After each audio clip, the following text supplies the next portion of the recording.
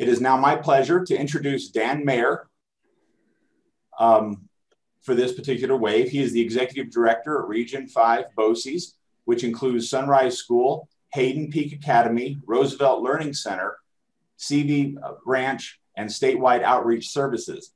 Dan is a nationally certified school psychologist and holds a principalship certificate from the University of Wyoming.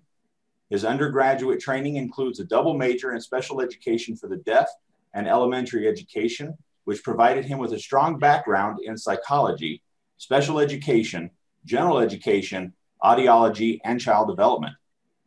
Dan has been established has established longstanding relationships within the education community. He was a special education director, coordinating programming for Uinta County School District number four in Mountain View and Uinta County School District number one in Evanston. Prior to joining Region 5 BOCES, Dan taught general psychology at Western Wyoming College in Rock Springs and Eastern Wyoming College in Douglas. So, Dan, welcome and thank you for your time today. Thank you, Tom. Well, welcome everybody. Um, we have a lot of ground to cover today. And like Tom was saying, um, if you have questions or any comments, please put them in the chat and um, I will stop to answer those questions. Um, the presentation today is a lengthy one, and I need to get my screen to be able to move. I, there's 150 or 160 slides that I have presented. I will be going through some information more quickly and I will stop on others. At any point that we want to stop and really dive deeper into a certain concept or a test, please just let me know and we be I would be happy to do that. I will not cover all the slides in depth. However, as Tom mentioned, you will be getting this slide deck and it has all the information that you need. I will be going through the Woodcock Johnson, um, not in sequential order, like test one, test two, test three. I've broken it up into reading, math, and writing. Um, I will cover interpretation after reading and writing. And if we get time, if we get through everything, there's some more interpretation that I wanted to add to, or if our dialogue really wanted to move us to more talking about what these scores mean. Um, so that's how the presentation is developed. And um, again, I, I, open your, your questions, your comments, and uh, I'll get into why I decided to do this presentation this way. So the objectives today, I have two primary objectives. One um, is to increase participants' understanding of the procedures and best practices for the administration of the Woodcock-Johnson 4. That objective is very important because when we start looking at test numbers, standard scores, those results, making educational decisions for kids, we want to make sure the numbers that we're looking at and interpreting and making decisions on are accurate. And a lot of times we, or in the presentations or the work that I've been in, we oftentimes talk about the clinical interpretation of scores and we don't talk about what it takes to get those scores. And I feel like there's a lot of information that can be gained by administering, understanding, and seeing how kids respond to these different basic reading tests, um, word attack, the different subtests of the Woodcock Johnson. It's not just about the numbers, and we'll get into that.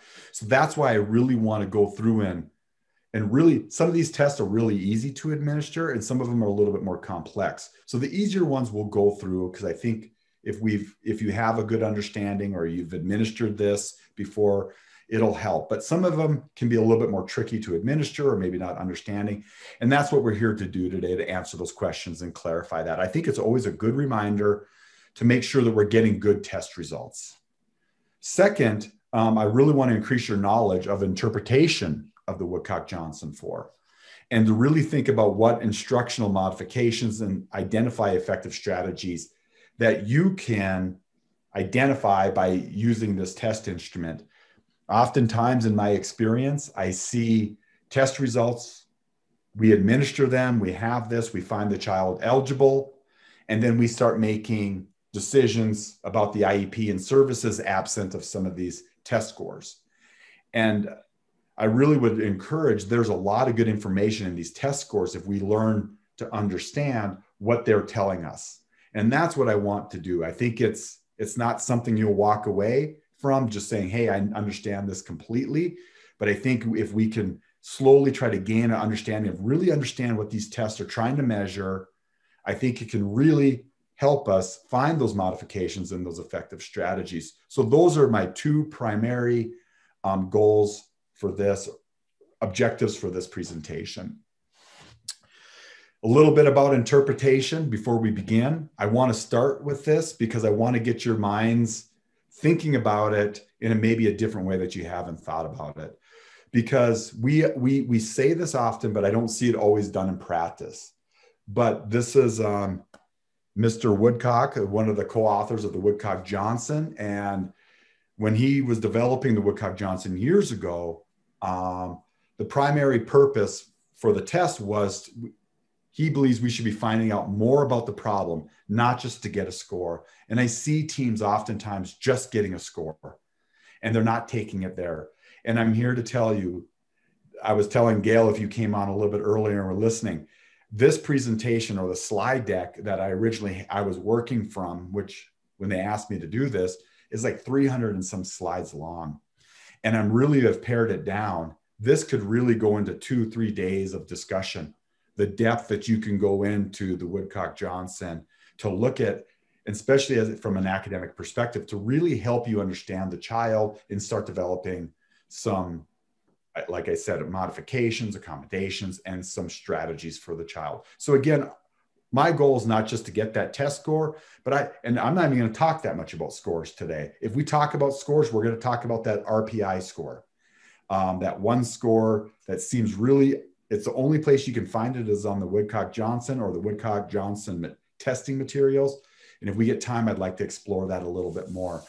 Um, but I'm not even going to really get into test scores today um, because I really want to spend time on um, all of that other stuff. So, just a little bit about the organization of the Woodcock Johnson, real briefly. Um, there are different forms of the test. Did I click? Pardon me a second. I keep hitting it. There we go. There's three forms of the standard battery. Um, there's achievement A, achievement B, and achievement C. That is built so you can give this test, you know, more than once in a calendar year. There are some places that use it for pre-test and post-test results. People have done that. So it used to be there was a form A and a form B, but actually the new Woodcock Johnson actually has three different forms. And so that really allows a lot of flexibility to be, and they're co-normed on each other. So there you can do comparative analysis between those subtests if you choose to do that. And there's a lot of reasons people may look into using those different achievement batteries. Um, one thing to note, the one form, um, the extension of it is there's only one form of the extension of the battery. Um, so A, B, and C, and that's the second. So you don't give that. But for the more core content items, there are three forms of the standard. There's really just one form of the extended battery that can be given. Um, the three forms, um, forms A, B, C, that's test one through 11. The extended is 12 through 20. Um, you use that with all three forms. The core set of tests are tests one through six.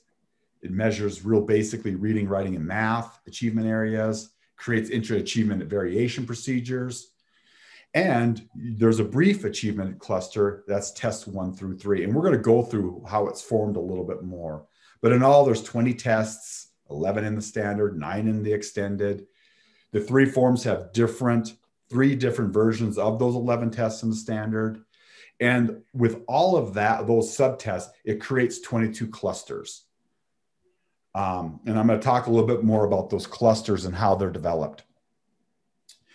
The achievement test, this has been out for a while now. People probably know there are some new and extended tests that really want to get into that oral reading, reading recall, word reading, fluency. So a lot more fluency. They really expanded on the fluency. They have number matrices that help in the math. And they separated out the science, social studies, and humanities section. It used to be just, I can't remember what the subtest was called anymore, but it used to be clustered together. Now they're separated out. So you can see those scores and standard scores separately, which created also some new clusters. You have a reading cluster now, you have a comprehension cluster. And these clusters are important because when we look at Um, for example, one good example of clusters is when we look at learning disabilities, for example, we're not, when you look at Appendix A of the Wyoming rules for identifying learning disabilities and you use an ability achievement discrepancy, you're not supposed to be, you, you are not to use one single subtest to compare to to identify a student with a with a learning disability. We should be basing it on clusters of scores and it says that right in our rules and it's just best practice because we don't want to base any large educational decision on just one subtest of scores. We want to see trends. We want to see evidence that what we're getting is consistent. It should never be based on one item or one test. If one test says there's a problem we ought to be looking a little bit deeper but that helps that interpretation. They cluster these scores into areas that are identified as comprehension, um, reading skills, and that sort of thing. It's also co-normed with the Woodcock-Johnson test of cognitive abilities and a new test of oral language. So there's actually three tests. You have cognitive abilities, which mimics what the the WISC will do, the IQ test. So it's a bit of an IQ test. It's not considered an IQ test, but it gives an ability index. Um, the achievement scores are really the reading, writing, and math, and we're going to talk about that today. And then there's the test of oral language. And again, oral language is very important when we talk about academics because a lot of school is about listening, hearing, talking, understanding, um, reading, writing. It's all variations of oral language. So understanding a child's oral language is very important, especially early on when we're first testing a kid. Um, to understand where those oral language abilities are because if they're oral language we were always taught that someone cannot comprehend what they read more than what they can read if they just listen. So you should always look think about oral comprehension in reading versus what they can listen and comprehend. They shouldn't be able to listen and comprehend. They shouldn't be able to read and comprehend more they can listen and comprehend. And so that's just an example of where these oral language skills are really important They've created some qualitative um, observation checklists. It's located in the test record. You're probably, it just helps you look at more of that qualitative. How are they answering questions? What are they missing? Did they answer questions easily? Did they struggle right away? It just helps you to get all that. Um, and it includes the data on percentage of age mates at each rating. So it even helps you to try to quantify what you're seeing. Um, achievement standard battery, tests one through 11. This is where we're going to want to spend a lot of our time. I really want to start with reading because these are where a lot of the core academic tasks are located. Um, I'm going to move away from this. Test an achievement standard battery so you can see how the Woodcock Johnson. I don't want to do that comparative analysis. It's there for you to look at. The extended battery, these are the tests as I was mentioning, these used to be a combination of academic skills and they've separated them out. I think that's a good thing. So each of these generate their own standard score now. So you can have a general understanding of that. And if we get to that point of the presentation, I can tell you why that's important. Um, but these are the extended um, items. This was moved. This used to be in the cognitive. It was just moved to the academic because it weighs on the academic and math so much kids understanding spatial relationship and moving things and seeing patterns is really related to their math ability. So it was moved over there. And like I said, reading recall for comprehension and word reading fluency, we're finding out that that's such a big measure of a student's reading. So they've added it to the Woodcock Johnson. As our knowledge about reading, math, and writing, that's why these tests change over time because we understand more and we start adding more tests to be able to quantify what we're seeing um, through instruction. Um, the extended battery, some changes. This is the slide. This is in your manual. I was going to grab my manual in case there was questions, and I forgot that this morning. But this is something that's in your interpret technical manual. Um, it's the selective testing table, and I, I've I've been I feel like it's important to talk about this because a lot of people I've found don't know that this exists. But what this does, you can see these are the different achievement tests on this side of it. So you can look, these are the different tests. And these are the different clusters that they create. So you can see to get the reading cluster, I need to administer letter word ID and passage comp. I'll get that cluster scores. But if you look across the top here, basic reading skills. So the five academic areas that you could identify in and um, for a learning disability in Wyoming is basic reading skills, reading comprehension, reading fluency, math calculation skills, math reasoning, which could be synonymous with math problem solving. It might even be math problem solving. I don't do this as frequently as I used to. And we have written expression. And I would suggest, and I know that the oral language component has oral expression and listening comprehension clusters that are in the oral language. So you have all seven of those areas that are identified by Wyoming rules that are created in clusters in the Woodcock Johnson. So they help you provide that. So you can go through this tool can be very useful in helping select tests. If you have a student who just has a math disability and you really want to tap into that and you want to get clusters, you can use this grid to really select to get certain tests, to get certain measurements to help you with those clusters. That's where this becomes very helpful that these are all the different clusters and this is how they're made up.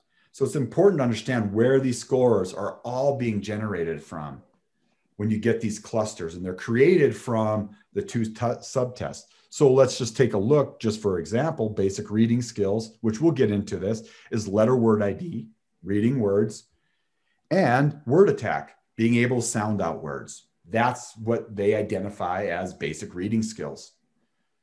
To think about it, if you would look at the WIAT or the KABC and other tests, they may have a different variation on how they interpret it. So it's important to know that not all reading tests, not all math tests are built the same. The test puzzle, so it's important to understand how they interpret what reading is and how they're measuring it, because not every test does it exactly the same. Anymore, I can tell you, even on the WIAT, I think the WIAT 4 just came out, they're going to have a test like Word ID and Word Attack.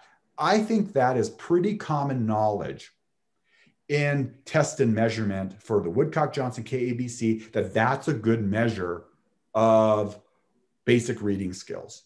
So you're not going to see that. When it gets a little bit more tricky, I know that reading comprehension is, is different on the WIAT than it is on the Woodcock Johnson.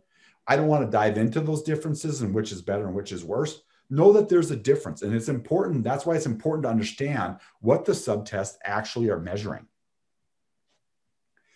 Reading includes eight measure test measuring various aspects of reading.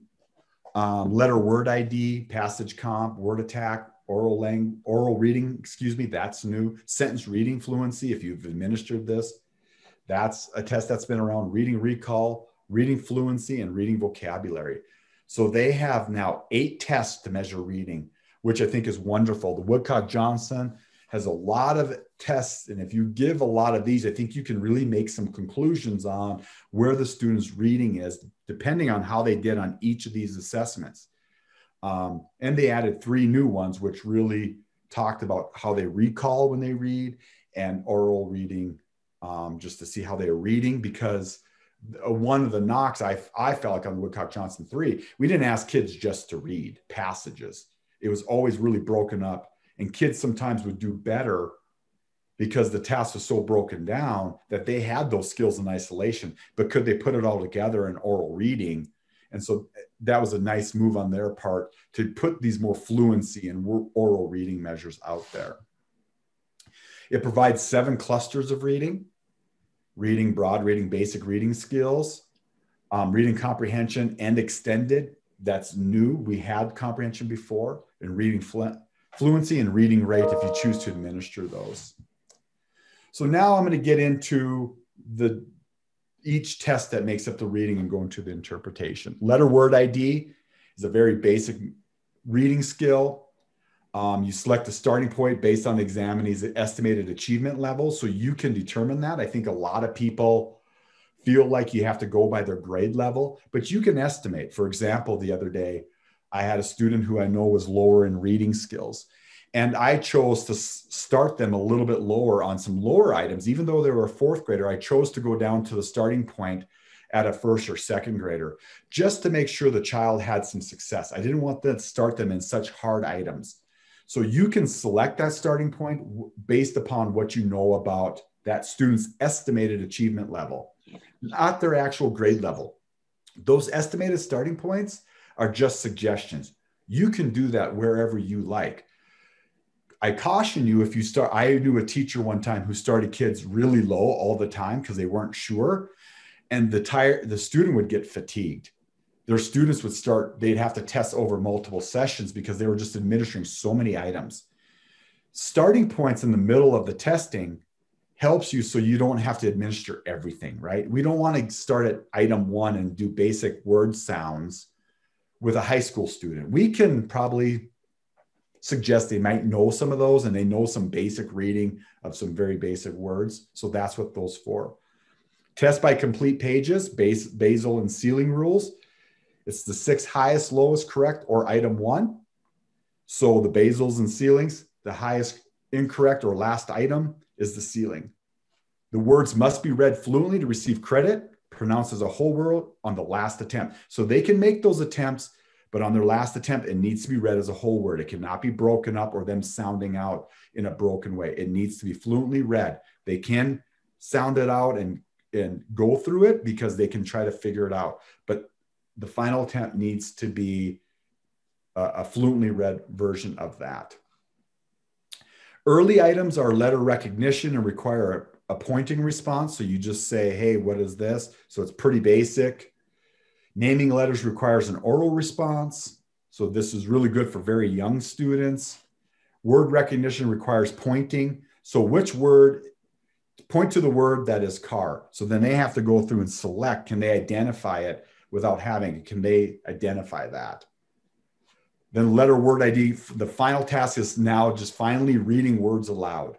Words increase with difficulty. So the, at, and, and then a lot of words that I have to use the uh, tertiary. I know that one, but I have to use, and they have the uh, the pronunciation guide with this. So make sure when you're testing an older kid, you go through and you understand how these words are pronounced as you go through. Um, we this is the new part, the qualitative observations.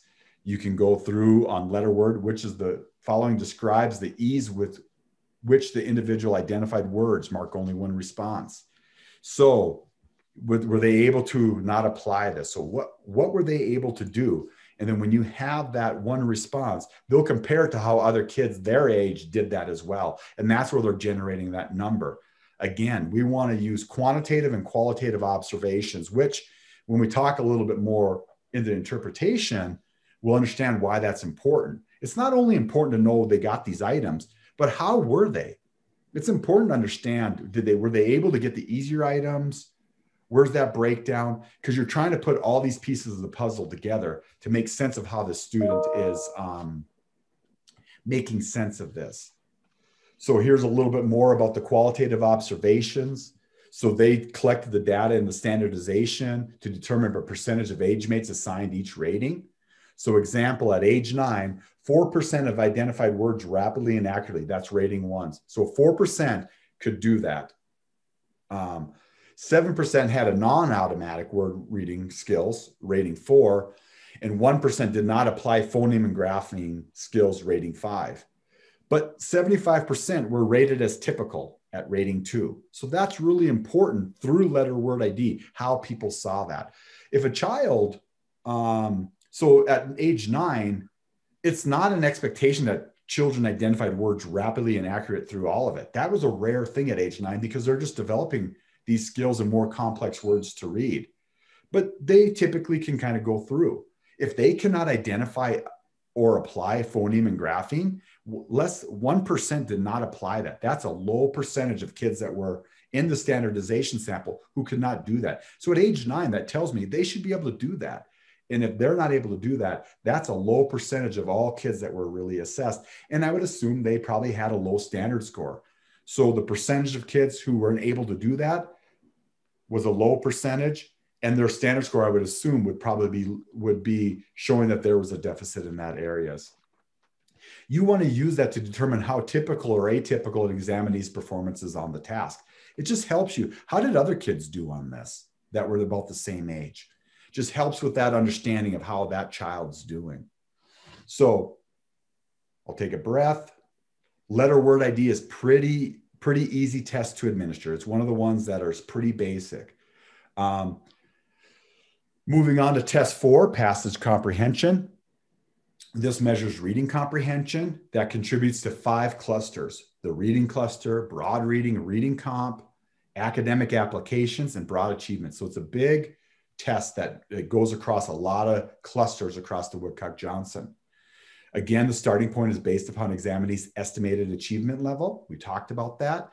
Basal and ceiling rules, test by complete pages. So the basal is the sixth lowest correct.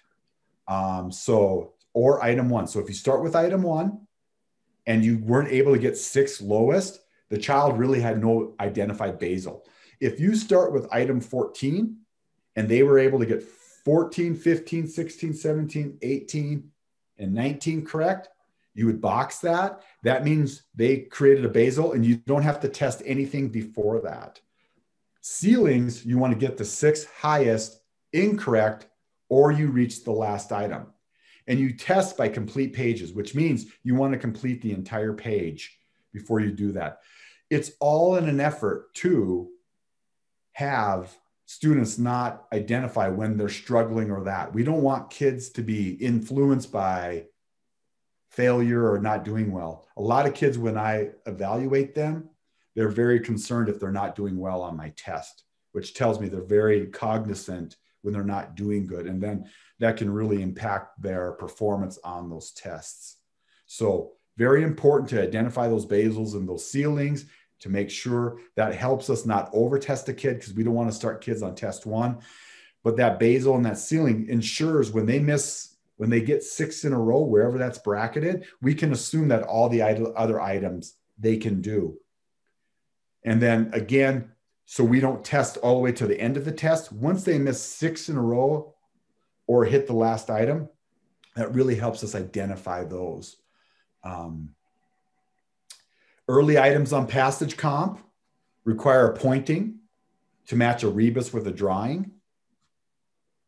So you just, which one's the house? So you use a rebus and you have that. Can you match that basically? The task requires pointing to a picture the words tell about. So what do these words tell about? And we want to see the child look at that. And they don't have to read it. They just need to point to the picture that it reads to. We don't need to know, but can they just make enough sense to know that's yellow bird? Task requires reading the passage silently and providing a missing word. Easier items have pictures and shorter passages. So it starts off, something is in the wagon. It is a, so it gives them some picture clues like we do when kids are in that early development of reading.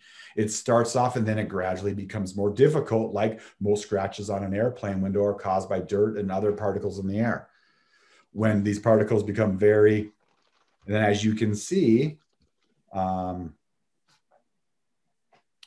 the difficulty as the pictures are eliminated and passages are longer and they kind of trick them they they do a really nice job of of tricking students if they're not really reading it where they can select a word that might fit but it's it's out of context of the of the paragraph or the passage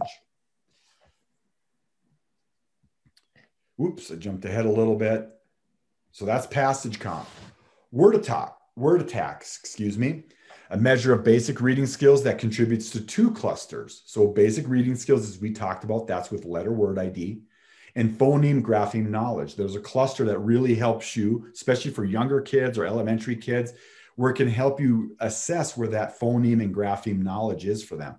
If they're breaking down and we identify that phoneme grapheme, that might be an area that we want to investigate or possibly even intervene in based upon um, what we're getting. So again, we select the starting point based upon estimated achievement, basals and ceilings, test by complete pages. You start on the selected item, six lowest correct. So you start on 14. Again, if you go through, they get all those correct.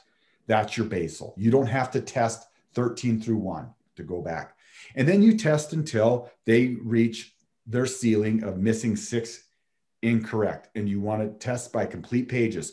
So if they, you don't want to stop the test in the middle of it. So if they miss the last four on a page, you turn it over. You want to complete testing by that complete page and then bracket that. That's what that means. That doesn't mean they need to miss 15 in a row or if they get one. You just need to test by complete pages. So they go through all of those. And by that point, a lot of times they're like, I don't know what that word is. I'm not sure. Um, so it, it appears to work out. Words must be read fluently to receive credit. Pronounced as a whole word on last attempt. Again, word attack, we'll go into what that is. It starts with early items. So we'll talk about what does this measure. Early items require pointing to the picture that starts with a specific sound. So point to the picture that starts with k, you know, so they point to cat, ah, or f, as in fish. Point to the letter that makes a specific sound. So z or p. So they have to point to those letters when I make that sound. So we want them, do they understand that basic, right? And then read each of these to me, but don't go too fast. So, so if they're younger, you may want to point to them to help them really guide that and really um, correct them because some kids get um, they're trying to look for the real word, but you want them to understand tiff, zoop, then, wugs. Um, why do you why do you think word attack's an important test? I think sometimes this is can be controversial. I and maybe it's not so much anymore. But does anybody want to um, unmute and take a guess at why word attack is important test to measure?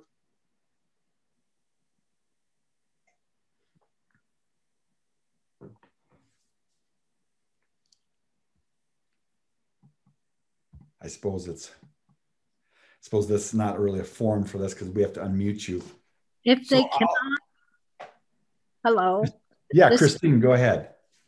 If they cannot sound out, they they are not reading. They are they are guessing at the word by the pictures, or they have memorized the word. Yep. If they cannot sound out the word, then they will never be strong readers. Yep. Very good. And using letter word ID, when kids become, they become very quick to pick up sight vocabulary. They have a strong sight vocabulary, and that's what letter word ID does. But it's hard to know can they really attack a word and utilize those skills to help identify unfamiliar words? And that's a difficult thing to measure. So we have to use words that are not real and say, just use those skills and see how they attack it because it's a combination of utilizing these skills to know where they're if they have that or are they just over relying on their sight vocabulary or another means to figure out words? If they i just had a student who killed this test. I mean they scored above the 50th percentile and couldn't do letter word id they were there. So that student over relies on their strong sound symbol relationship and they over rely on sounding everything out well, you and I know not every word, like a word like psychology, cannot be sounded out. It's something that we need to use some of that memory and context to understand. So, reading is a blend of each of these. And we want to know how kids, that's why the test is built in these different tests, because we want to see overall when we see a reading cluster low, we want to look to the subtest to see which subtest may be um, they're lacking in so we can um, understand where they're breaking down. Um, you do not want to pronounce any of the words or sounds for the subject, for the subject, for the student. Point to each items, really encourage them, really encourage them to use those. They're not real words, um, etc. And so, there was another comment yes. from Kathleen, and she said to be sure the student is able to read the words. Sounding out words and being able to use the rules of letters is important for reading growth. Perfect. Yep. She said that better than I did. Thank you for that. Test eight oral reading, a measure of oral reading skills that contribute to reading fluency. So, this is a newer test. Um, again, this has been around, so it's maybe not new, but it's new for the Woodcock Johnson 4. Um, this is where they really bolstered up their reading component, where they're having a lot more fluency measures. We know the importance of fluency over the last several years. Again, it's it's it's not everything, but it's part of the equation of reading, right? So we're identified just can you do you have sight vocabulary? Do you continue identify words and know them? Can you use your sound symbol as the uh, participant said and being able to decode words in that manner? And then can you take these skills of sight vocabulary and sounding it out and can you do that in a fluent manner and see where that's all there? So that's an important. We didn't have this measure before. I would when I was using the Woodcock Johnson 3, I was supplementing the Woodcock Johnson with an oral reading measure because the Woodcock Johnson didn't have it. So it's nice that they included this to give me a measure of that oral reading because it may not be enough. I may want to go and test it more with another test, but at least I have some idea where that reading, oral reading is. Um, starting point based upon the estimated achievement level, that's going to be the standard Again, there's no hard or fast rule. You, if you know that's a judgment call. There's no wrong. I, I caution you. To, I knew someone who started at the beginning. I'll, I'll caution you on that. You don't want to over test a kid because they're going to get they're going to fatigue quickly. And the ceiling is determined by cutoffs. So there's cutoffs on this one. Um, the scoring is based upon two, one, or zero. You get earn two points if sentence is read with no errors. You get one point if the sentence is read with one error, and zero if the sentence is read with two or more errors. So the type of reading errors that could occur, there's mispronunciation, pronounces the word incorrectly, they omit, they leave out a word, they insert insertion, they add a word or words. Substitution, they say a word that is incorrect but maintain the sentence meaning. So house for home. They hesitate, does not pronounce the word within three seconds. If this happens, they go on to the next one. So we want to know how fluently they're reading. Basic word ID, letter word ID, pardon me, we can allow child to kind of figure it out. That's what that test does. This test is about oral reading. We have a measure. That's why sometimes you see letter word ID is high on with students. It can be a higher standard score, and these other reading scores may be lower because we allow the child time we only take their last response so they can be sounding out figuring out a word and go and then kind of blending it themselves and then they say it and they get credit but it may have taken them five seconds we can predict that they're not going to do as well on these oral reading measures because they're not fluent in their retrieval of these words right? So this test it really matters that they're doing it quickly because we want to know that they're able to get this because that's a big part of oral reading. We and that's why it's important to differentiate that and administer these appropriately because it tells you where the breakdown is. Because if they have a reading if if they were identified with a reading problem and some of these tests are scoring in the average range we want to make sure we identify where those problem areas are. And that's what the woodcock johnson does. It takes a skill like reading and it separates it in eight different tests that identify what reading is. And if you can do all eight of these wells you should be able to read. That's the theory. If you can only do three or four of them, it's going to show up as a problem. And that's what we want to do. So those are the other ones that you can score. Self corrections within three seconds do not count as errors. So you can self correct when they're going through there, but it's within three seconds. Very important, very important on this test that we pay attention to that three seconds, that hesitation. If it's not corrected, we've got to move on. Um, Starting with item one, I want you to listen to read aloud. Read as carefully as you can, not as fast as you can. If you, everything's in my way here. If you come to a word you cannot read, just do your best and then go on to the next word. You point to item one and you read the blue. Start here and read a, story, a story about bees. You mark error on the test record with a slash at the point of the sentence the error occurs. So if they insert or any of these. So if you go back, oops, let me go back. Um, give me a second here. So here's a story about bees. This is a, a, so a story they mispronounced about. They might have read it incorrectly, or they said a story a boat bees. So you can write what the error was, and they mispronounced. So you can put that in there. Oops, didn't mean to change that. Bees are little, they read it correctly, no problems, they earn two points. One point, they read they for there, they said there, that's a mispronunciation. Bees, can make, so they must have mispronounced can, make, and they might have read wax as honey. So they omitted can and they read honey for wax. They didn't even look at the word, they just guessed it. So they earned two because they had two mispronunciations. And five, um, jobs, they it looks like they hesitated for three seconds trying to figure it out. They may have read it correctly, doesn't matter. I always I like to know that. So if they self-correct and I slash, I note that. I like to know that they're reading it right. It's just taking them longer and I counted it important. That's another qualitative interpretation that's important to know. If they can self-correct in time and they're just disfluent and they can't figure it out, that's important to know. And that's how it's scored. So for this section, one through five, they're in five points. So five or fewer points, you discontinue testing. Six or more points, you administer six through 10. So in this case, we would discontinue testing and we would be done with this. So I would assume this is probably a young child. If it's not, we would go to items six, um, six through 10, and we would administer those until we got to the scoring discontinue or this. So it has its own discontinue and continuation rules. So you continue until it tells you to stop. There's no basals and ceilings. Okay. Follow continuation instructions to determine when to give additional items or when to discontinue testing. So um, again, we talked about that, five or less, six or more. It tells you what to do. You continue. Any questions on that, Gail? That's a newer test.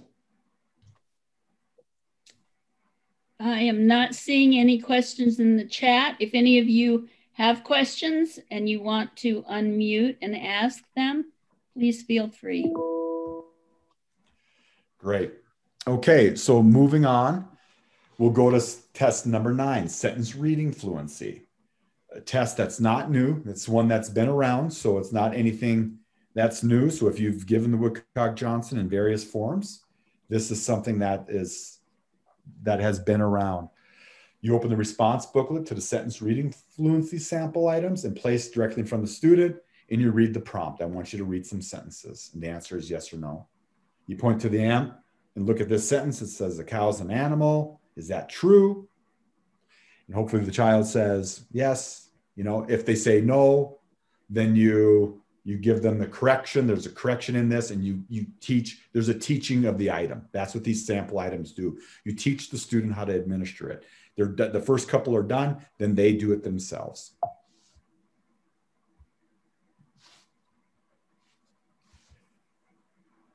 so once they are taught the item and they're able to complete it you give the subject a pencil and say now you look at the next four sentences there's practice items draw a circle around the correct item, work as quickly as you can without making mistakes, go ahead. Follow the error and no response directions carefully to ensure the examinee understands the task. So if they get an error in what they do, read the sentence out loud and tell me the answer if yes or no. If the subject still gives an incorrect answer, explain the sentence and correct the answer. So show them, teach them how to do it. That's what you want to do. If they have no response, read the sentence out loud and tell me if the answer is yes or no. And then if they can't read it, you have them try the next one. Um, if the examinee, here's the important part about the practice items. If the examinee has two or fewer correct on the practice exercise after error correction procedure, you record the score of zero for the test and you move on. We don't want to give the child the test if they're not able to do it.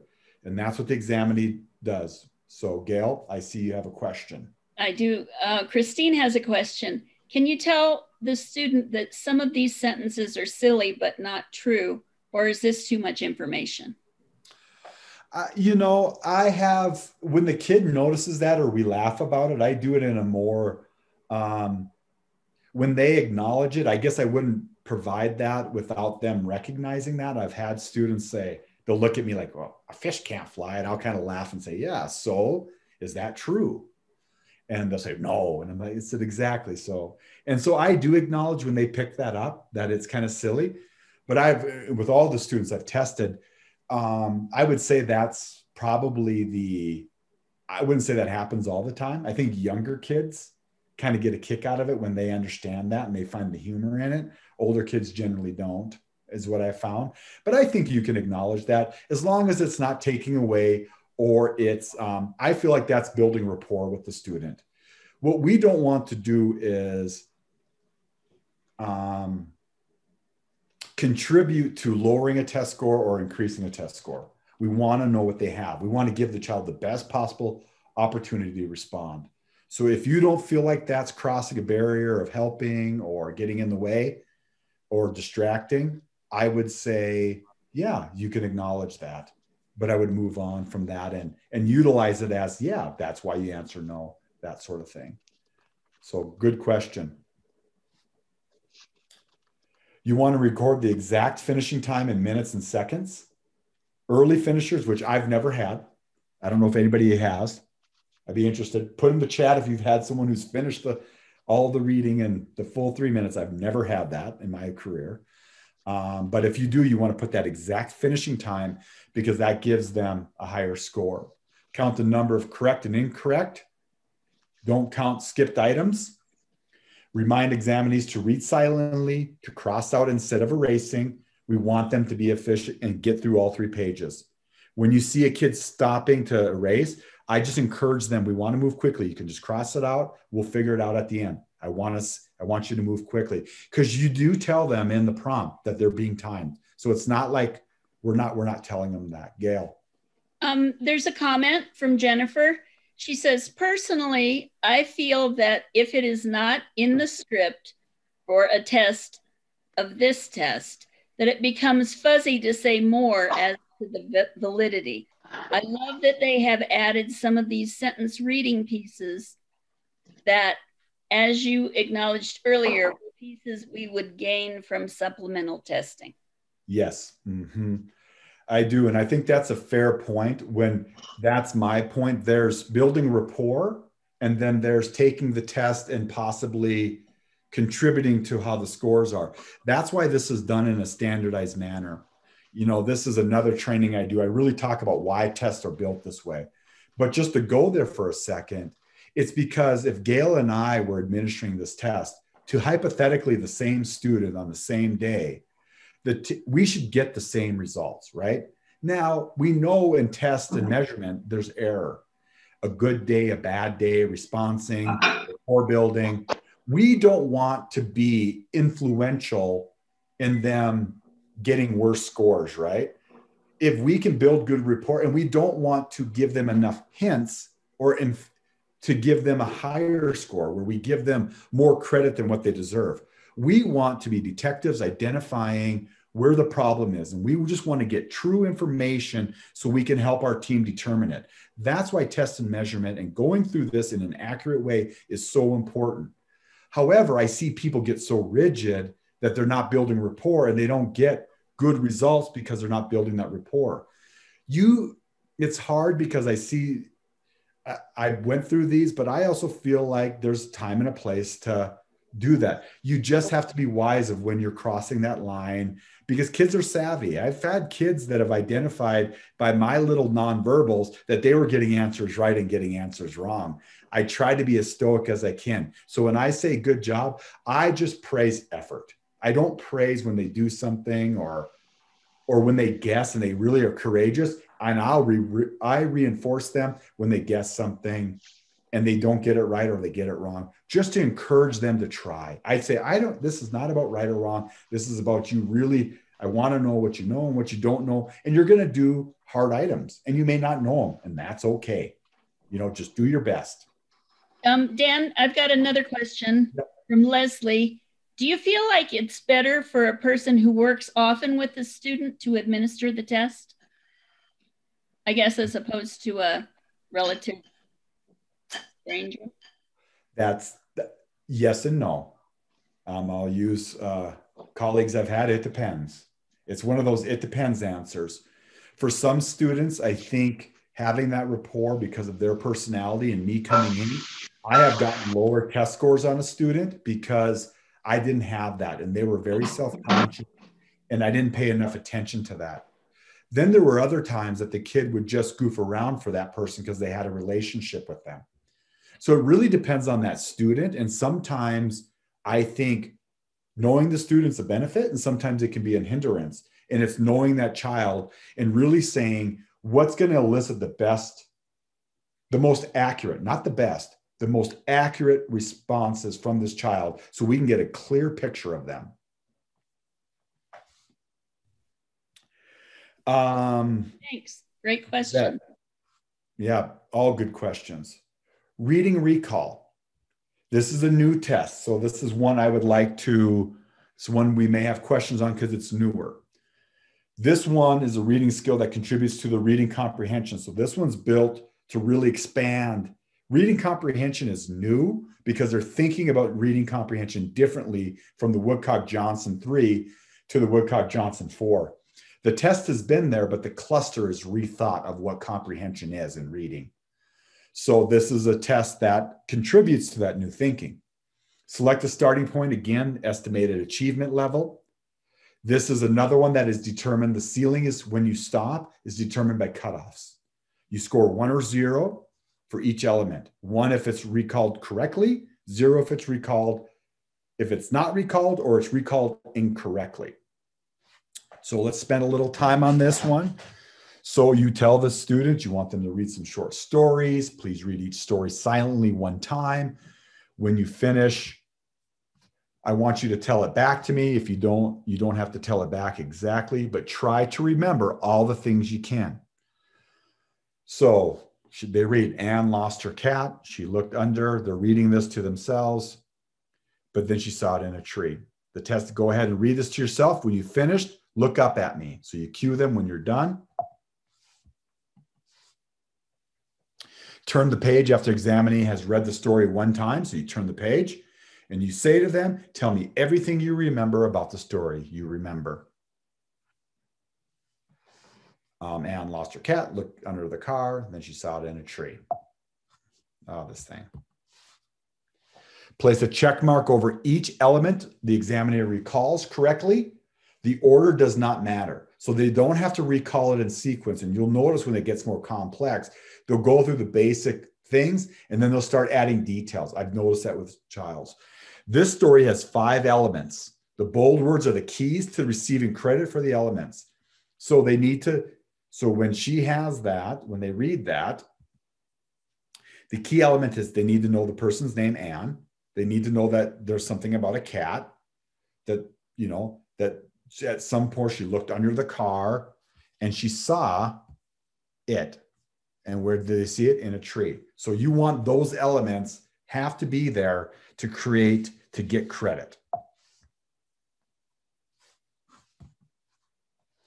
So here's an example response using that prompt. Her cat was lost and she found it in a tree. So the examinee earns two points for this response. One, she didn't get credit for Anne. I think we might have that. So, cat, tree. She didn't have anything about Anne. She didn't have under the car. And then she saw it. Makes sense? If not, let me know. Pretty basic test to have that recall. Recall is important because you want them to be understand are they self-monitoring and understanding what they're reading right? So we're getting into comprehension and we want to understand that they're reading the words. They seem to have good letter word id but they're not understanding anything and they do poorly on that test. You know what is that telling us about this student? They're doing well on everything else but they're not short-term memory what do we want to look into to maybe understand that a little bit better Test 15, a supplemental test, um, a measure of the reading skill that contributes to reading rate cluster. So there's a new reading rate. Um, administer sample items and practice exercise to all examinees. It's a time test, so it's three minutes to complete. You use scoring one or zero. Um, and there's a guide overlay that you can use to have that. Do not tell the examinee any words on the test. Yes, Gail, before I continue. Um, there's a question from Janice. Is it okay for a student to read aloud? I've had students say they want to read aloud, because it helps them remember more. Yeah, I it is, and I've had that. And um, as long as they're reading it, you know, I just encourage them. But if they're going to be doing that, uh, and I would take note of it, I would just say, you know, you can just read it, and if you prompt that and they continue to do that, I don't know if I would let that. I wouldn't even let that be a hang up. Um, I would note it. Here's another qualitative observation that I would bring to the team. I would want to be curious to why that is. That's, you know, they're not being able to subvocally read. So they're trying, I mean, I guess if this was a little bit more interactive and if I was in the crowd and this was a little bit more fluid, I would be asking you, and I don't want you to, or maybe put in the chat for Gail. What would you, if they were doing that, what would you, what could you hypothesize? Why would they be doing that? What would you be thinking about? What would you want to know more about? To me, it's not about right or wrong in the administration, even if they're doing it. It's about why are they doing it that way? And I want to let the child guide that and not influence that. But some way I'd be thinking about, you know, and Gail, maybe you can, as people are chatting in there, you can see what people think about why they would be maybe doing that. What would you be thinking about? Any, are there any comments in there? I haven't seen a comment yet. Uh, so we have a lot of slides, so I don't want to give too much wait time on this. And it's okay because I'd be worried that they have to hear it out loud. So they're not subvocally, they're not being able to monitor when they're reading subvocally, because that's what we do, right? And then we start taking liberties, right? We don't read everything completely. You're not reading the, it. You're kind of glancing over it and you're getting the gist of it and hitting critical words. Think of how fluently you can read when you're reading silently. That's what we want kids to do, but not too quickly where they're losing track of what they're saying.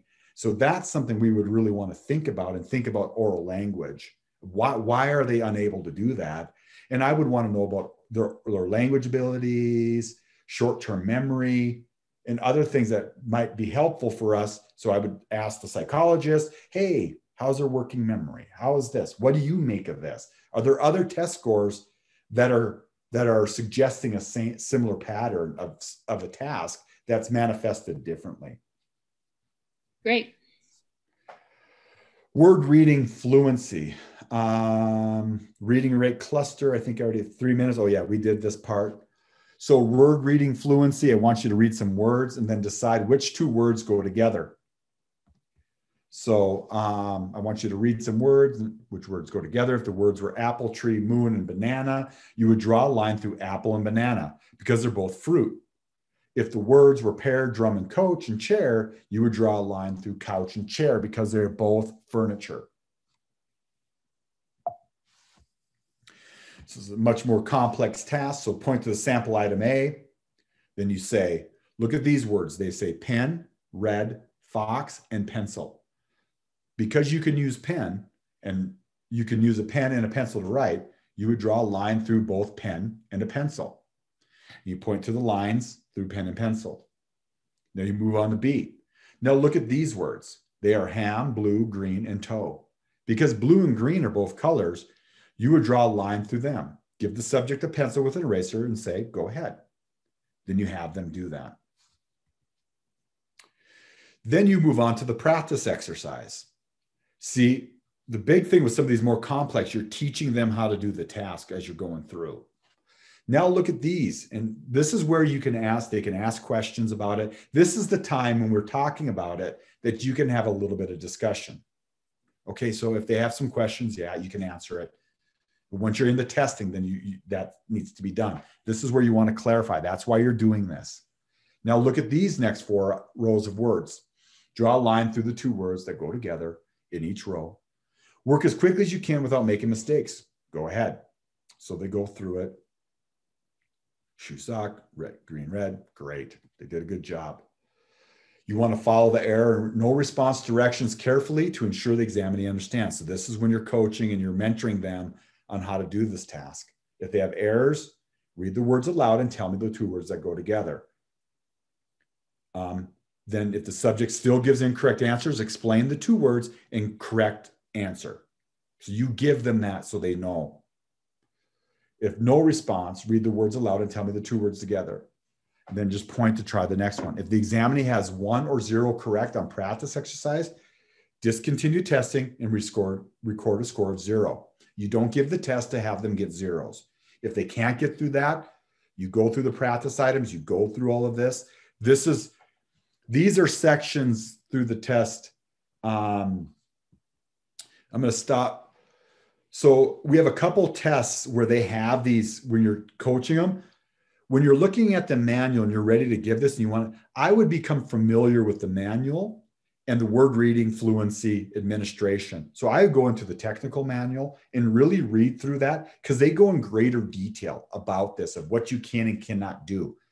I don't know this off the top of my head, but before I go in, I always remind myself of what that is, or I have that manual available, which I was going to be a good presenter and have my manual here. It's out in my car. I forgot to bring it in this morning in case you guys had real specific questions.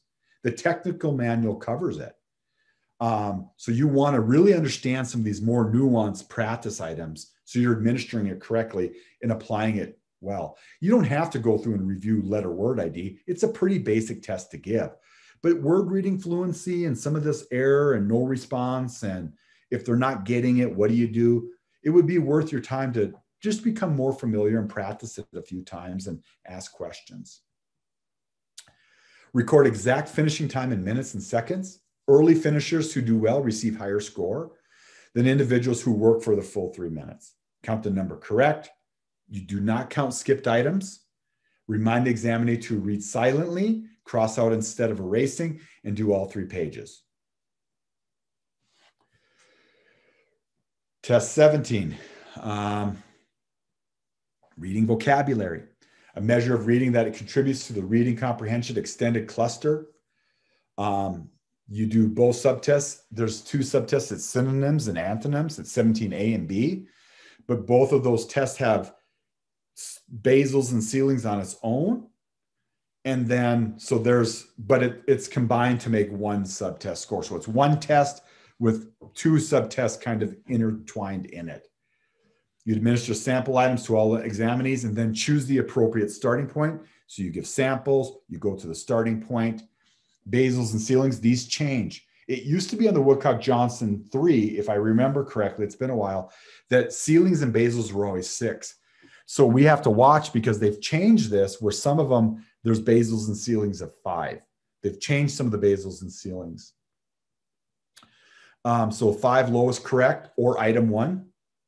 If you're starting because they're a high schooler and they start on item 10, if they get the first five correct, they hit their basals. You don't have to give anything below where you started. And then you test until you get the highest incorrect. This is not by complete pages. It's just when they get to the highest incorrect. Or you reach the last item. You do not read any words to the examinee during this test. Only one word responses are acceptable. If a two word response is given, you ask for just one word. Accept correct responses that differ in a number or tense. So you can vary that and do not accept responses that are a different part of speech. So let's look at some of the samples. Point to street on the subject's page and you say, another word that means street is road. Point to large on the subject's page, then you say, tell me another word for large.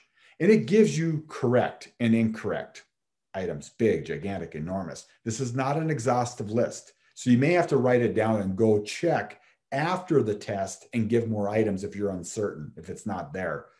But if it's not in either part and you think it might be close, I would go look it up and maybe make some um, um, judgment there or, or ask someone what they think. Score item, if there's an error or no response, you score item zero and say another word for large is big. You repeat sample A and you want them, you cueing them to say that so they get it on the right track. Then on, so that's synonyms. So you go through the same. And then on antonyms, when you get to that test, so you administer the synonyms, now you're on antonyms. Now we are going to do um, something different. The opposite of night is day. You point to the subject and say, Tell me the opposite of no. And if they say yes, It's pretty easy. There's not much more for no. You know, it's it's yes. There's one answer for this one. It's pretty easy. And then there's the error in response if they um, get it incorrect. So now to close up, those are all the subtests that make the reading. So let's talk about these larger scale. So reading, and you can see um, this is the, uh, oh, I'm drawing a blank on what that's called, the uh, factor analysis where they have that.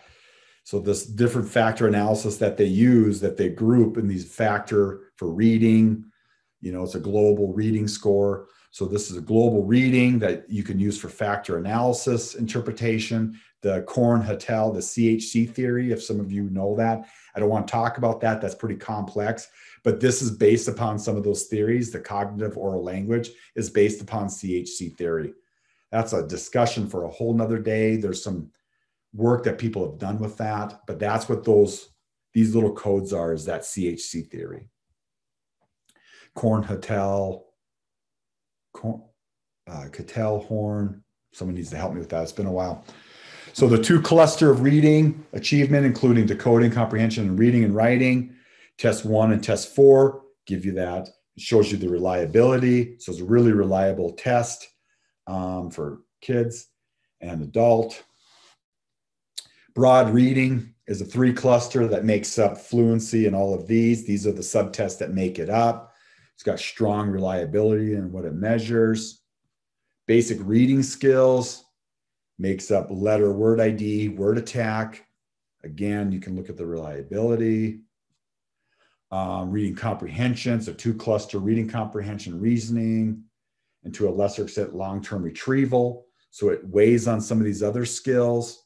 It has passage comp, reading recall. You can look at the median reliability. Um, reading comprehension extends, extended adds a third test. Um, so you can have extended reading comprehension. You can have a two test or you can have a three test utilizing that. Um, reading fluency. Um, it has the, the general reading and writing. It also weighs on cognitive processing. So reading fluency weighs on processing speed. It actually clues you into that you need to have some good processing speed to do these tests. So if we see a processing speed on the Wechsler or some other psychological test low, and we see this low, that's telling us that there's a psychological error that they struggle with that might influence their reading and how you intervene. That's how you connect those um, two together. Reading rate, um, again, breaks it up. That's test nine, sentence reading fluency and word reading fluency. Again, it has that general reading and writing, and it weighs on some processing speed. Because some of these academic tasks weigh on other cognitive processes, right? That's what we say a learning disability is. We see a lot of kids with learning disabilities who have processing speed deficits. So naturally, some of these tasks require you to have good processing speed ability. That you need to have that as a subset of that cognitive ability to do this task. So if that cognitive ability is impaired or not well developed or whatever's going on, that can influence these academic tasks because it weighs on that cognitive structure in this test. So, in summary, the reading subtests are eight tests for evaluating different aspects of the reading. Um, passage comp, some new tests, provides seven clusters for a comprehensive evaluation of the reading performance. We've gone through all that a really good test. So what do we do when we see, what do I do now when I get these tests and I see the intra-cluster considerations for basic reading skills? So I have some variation in them. What can I think about with that?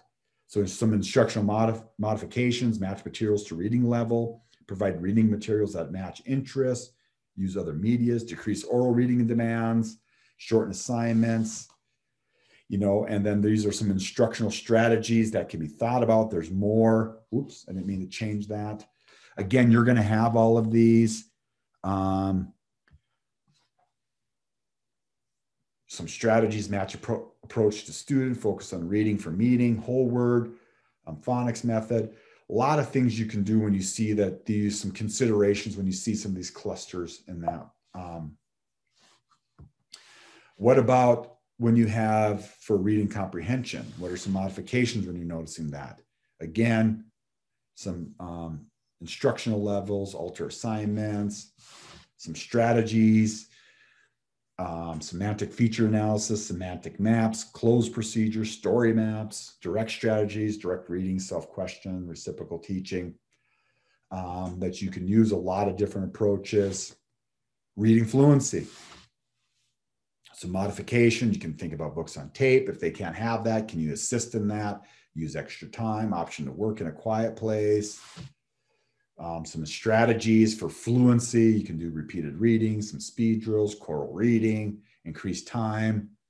And again, I think there's a lot of other interventions that are out there that would just lead you how you can match some of those deficits when you're seeing that in other areas aren't deficit these are some things that you would want to think about if you saw that reading fluency lower than the other domains any questions on reading Gail, would this be a good time to take five, ten minutes as a break? I think so. Um, why don't we take a 10 minute? Oh, wait, we got a question before we okay. do that. And then I think we'll take a 10 minute break just to stretch or whatever you need to do. The question is this is from Juanita. Going back to word attack, if a student scores low, is there an intervention for that?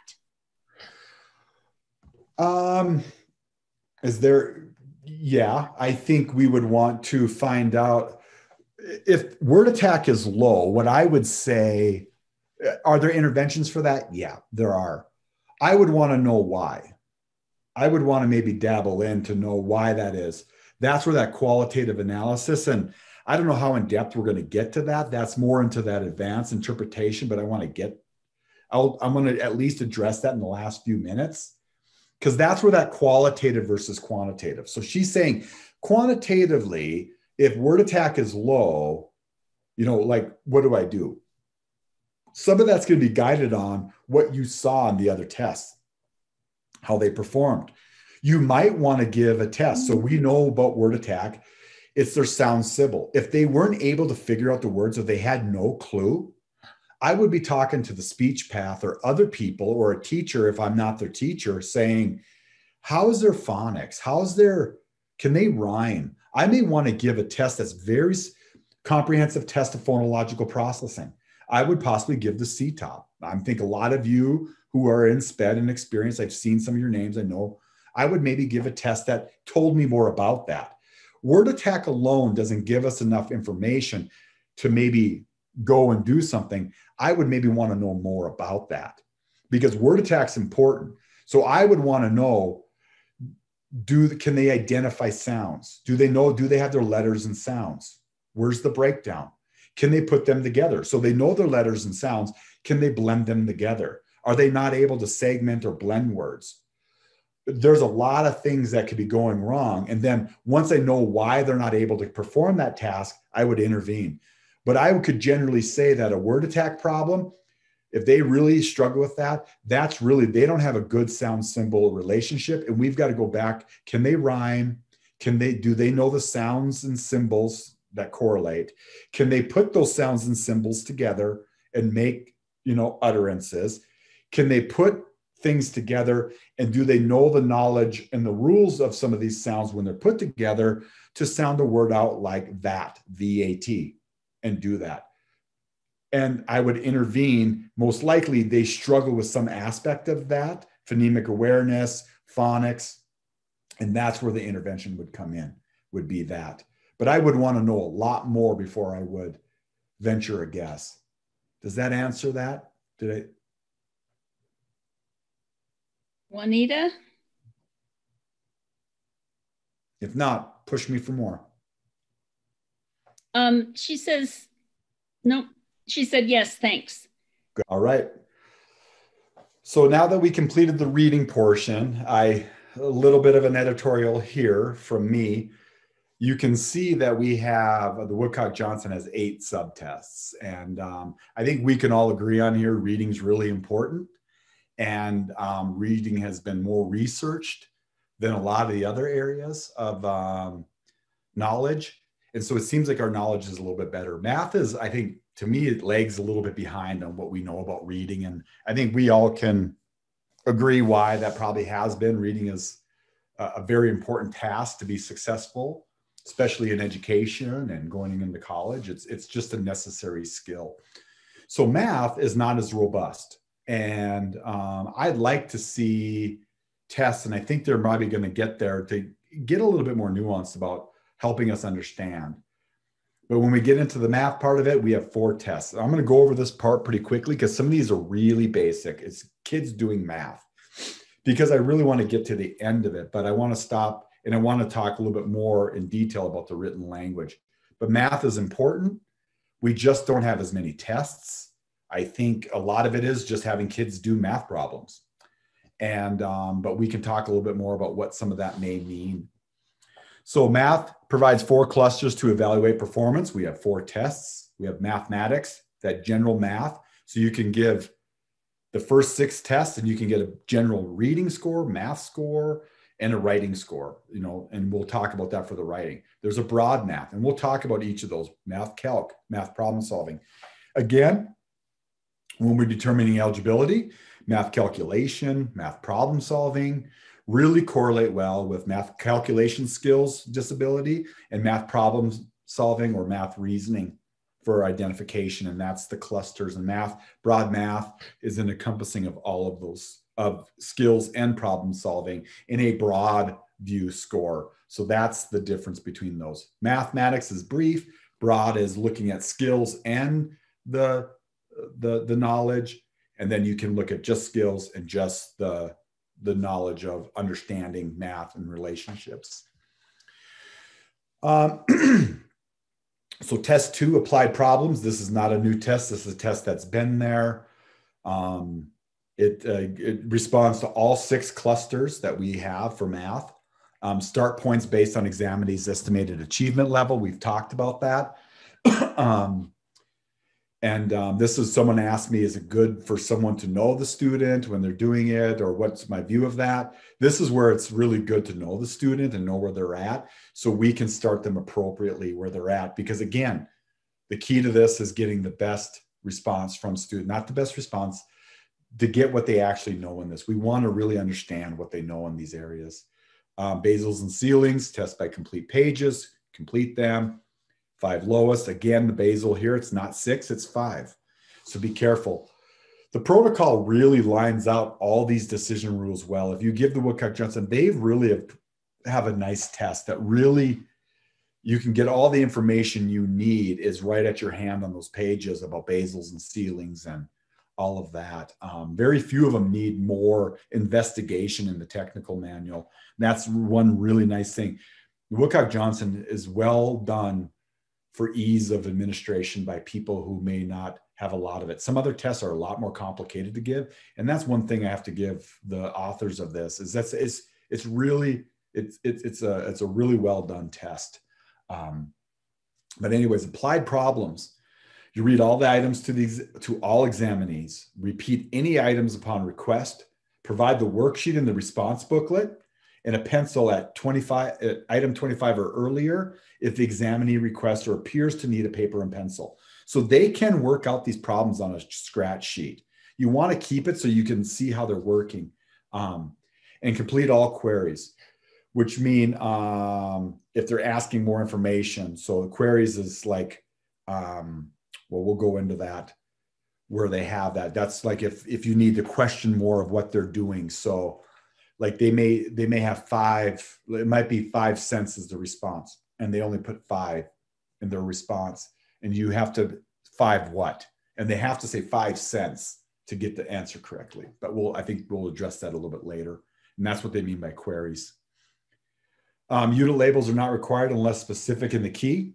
Um, while working in an art project um, then she cuts each piece in half again how many pieces of paper does she have four there's no label required um, so here's another example of the sense. This there's a label required on this. It's 50. 50 is not. So you want to query that. So complete all queries. That's what they mean. If a unit label is specified, both the label and numeric answer must be correct to receive credit. So if any questions on that, it has to both be there.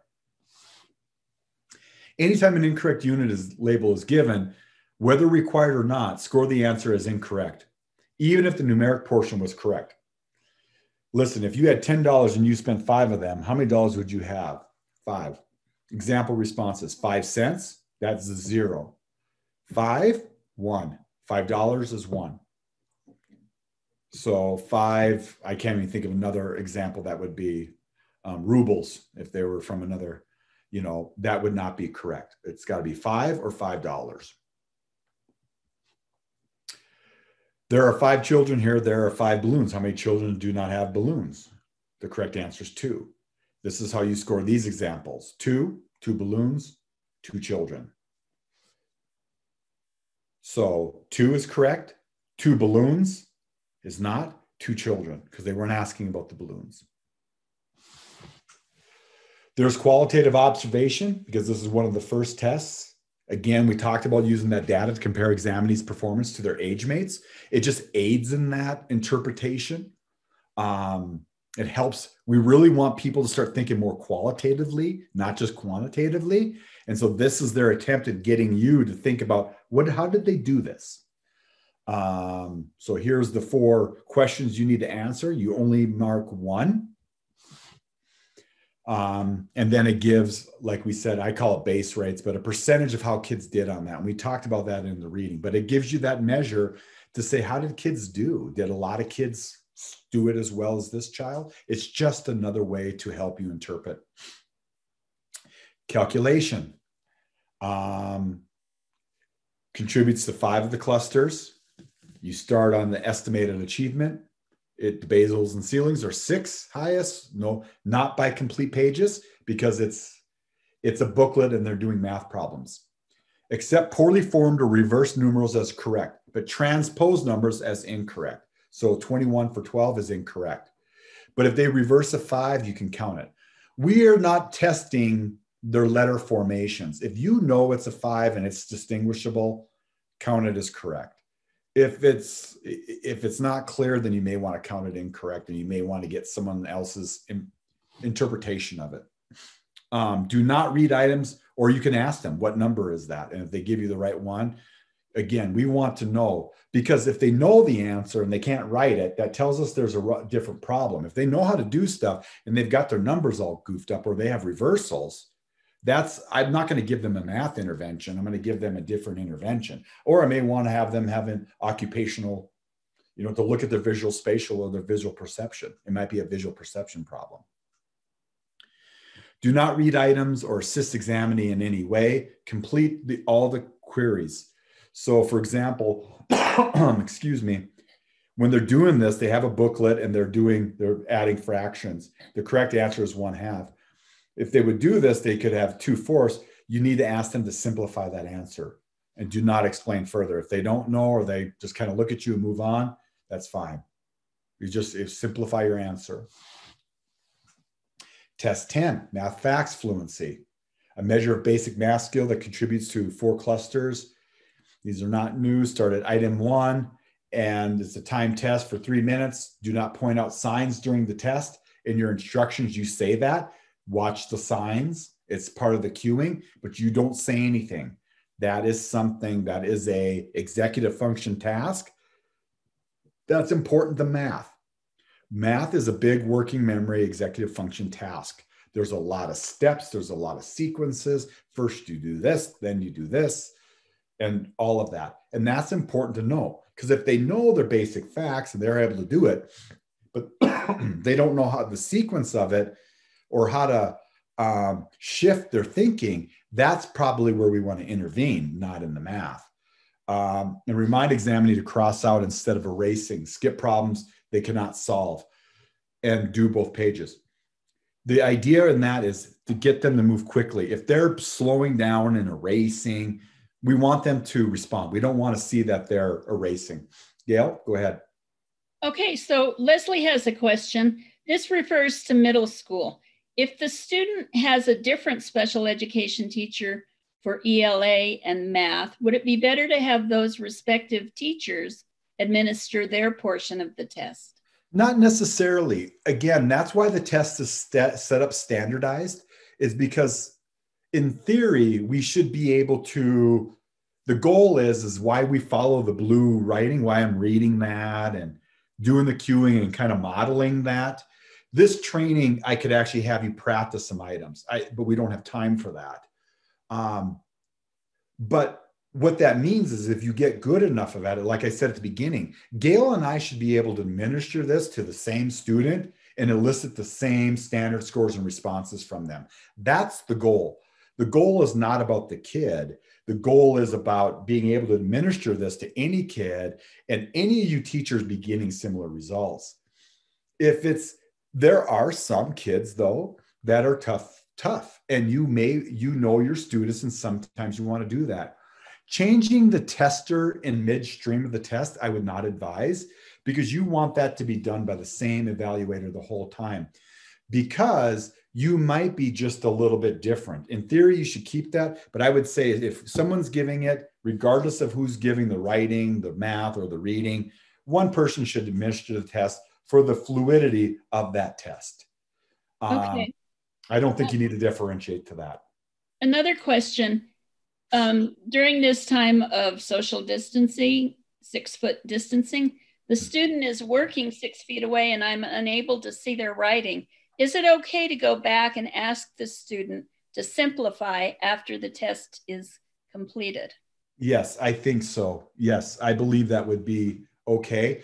I will actually check in with them because I have had some kids that just continue to do math problems and they're just, they've been way off. And so they're doing items way beyond it. And I just stop them. I'll check in and I'll just say, hey, can you simplify this one? Slide your book over, slide it across the table. Let me check how you're doing. And then I cue them. I've done that in the middle of the test um, just to make sure that they're not doing items that are so above and I'm wasting their time or my time because they've already ceilinged out and there's no sense of moving on when they're already done. And I just tell them that's what I needed. Thank you. You're done. You know, and I'm done, but simplify this one or whatever that queuing is. I, that is appropriate. Okay, thanks, Dan. The last thing in math facts fluency, just to remind, again, it's about speed. We want to really encourage them to keep going, encourage them to cross it out. We'll figure it out. You want to see how many they can do, um, not that they can erase neatly. Here's the math facts fluency use a scoring guide overlay. There's an overlay. Each row has 10 items, so you can go through quickly. If they miss two, the total's eight out of 10. Um, and so it's pretty, it makes it pretty easy to score. As you can see here, see how they, they swatch the signs. You got to really watch that. That's important. You see kids, they do really good right away. And then they just start adding everything. That's important qualitative information to bring to the team. There's many, I always tell people when we're talking about this, there's a lot of reasons why kids may not perform as well on this. Very few percentage come to be a disability. There's a lot of factors that we need to consider. And we're going to talk about that more towards the end about these other factors we need to consider in this, these qualitative factors that can help it. Again, when we start, when I say it's not just a test score, we're not just trying to get test scores. Those test scores are helpful for the identification, to standardize it to it, it, it, it, it's a tool but it's not everything. And we we over rely on those numbers. We got to understand why they're doing what they're doing. And that's where the qualitative piece comes in that we don't talk about. We want to understand why they got it wrong. Why do they have a standard score of 78 on math facts fluency that's at the sixth percentile that's pretty low how many items did they complete did they complete them wrong did they miss the signs do they just not know how to add and subtract did they just work slow? Is it processing speed? There's a lot of variables that come into why it is. And it may not have to do with the math disability per se, it could be something else. Test 13, number matrices, not a new test, but it's new on the academic. Um, it's a measure of math reasoning that contributes to the math problem solving cluster. So it only measures in the math problem solving. You select appropriate starting point with knowledge, it has basals and ceilings, test by complete pages. They have these items on there. They don't want you to start, start and stop in the middle of a page. They want you to test by, through the whole page to get these items and then do your basals and ceilings when you're done by the, the complete pages when you calculate your raw score. Provide the worksheet and response booklet and pencil when directed. Number matrices was in um, the Woodcock Johnson um, in another test for, uh, I think it's the, in more of a quantitative concept type of a thing and more math. But now they moved it to the academic because it weighs so much on the quantitative component of it. So they moved it to academic. Um, to be correct number must solve the puzzle vertically and horizontally. So you start here for K to grade six. Sample B, start here for grade seven to adult. Um, I just got to move faces here. Monitor response time. Items one through 11 have 30 second guidelines, so they've got to respond. We know kids given five minutes on each of these probably slowly can figure things out. But there's some automaticity that we want to know. Can they see these and come up with this? So there's some time guidelines um, because enough time can get the answers. But sometimes there's efficiency. We want people to see those patterns in those that are there. Items 12 and higher have a one minute guideline. So be mindful of those time guidelines and set a watch and just kind of keep an eye on it or a clock and I just run the timer and I just match the time to make sure. Because a lot of times people, not a lot of students, once they get to 30 seconds, a lot of times they give up, but you have some that really try hard to figure it out and we want to move them um, on. If a subject does not appear actively engaged in its solving problem, we encourage it. If subject still does not respond, score item zero and keep them going. Try this one. Um, do not give an answer, just keep them going. Um, responds to shaded boxes. If a subject provides numbers for shaded boxes two and 10, say, just tell me the number that belongs in the empty box. So if they figure that out, that there's two and there's a 10, we want to know that answer. That's the answer that we want. If an examinee provides a response that is not a whole number, ask them to them to solve the problem using the whole number only. If they're confused by more than one matrix per page, you may uncover one at a time, use hand or a paper. You can put paper there just to have that there if they're getting confused. A few matrices have more than one possible answer listed in the correct key. Only one correct answer is required to receive credit. So some of them are complex enough that there's a couple answers that could be correct. As long as they get one of them, they don't need to have both of them. They're correct. Interpretation, again, the mathematics, we talked about the CHC theory, um, quantitative knowledge. All right, that's what GQ means. That's the two cluster math achievement, measures quantitative knowledge. That's GQ, including problem solving and computational skills, apply problems, calculation, good reliability on the measure, broad math. Again, it has that quantitative component, but it, uh, number facility, automaticity, and cognitive processing speed. So the three cluster includes problem solving, computational skills, number facility, automaticity, and cognitive processing. It's important to know what those things on this broad math. So when broad math is low, you can say which one of these um, problem solving computational skills is low that's causing their score to be low, unless it's all of them.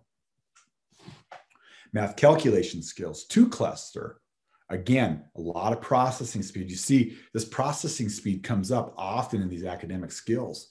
That's why we measure it as psychologists because it's it's helpful. That's where it's helpful. There's a lot of processing speed um, in academic tasks.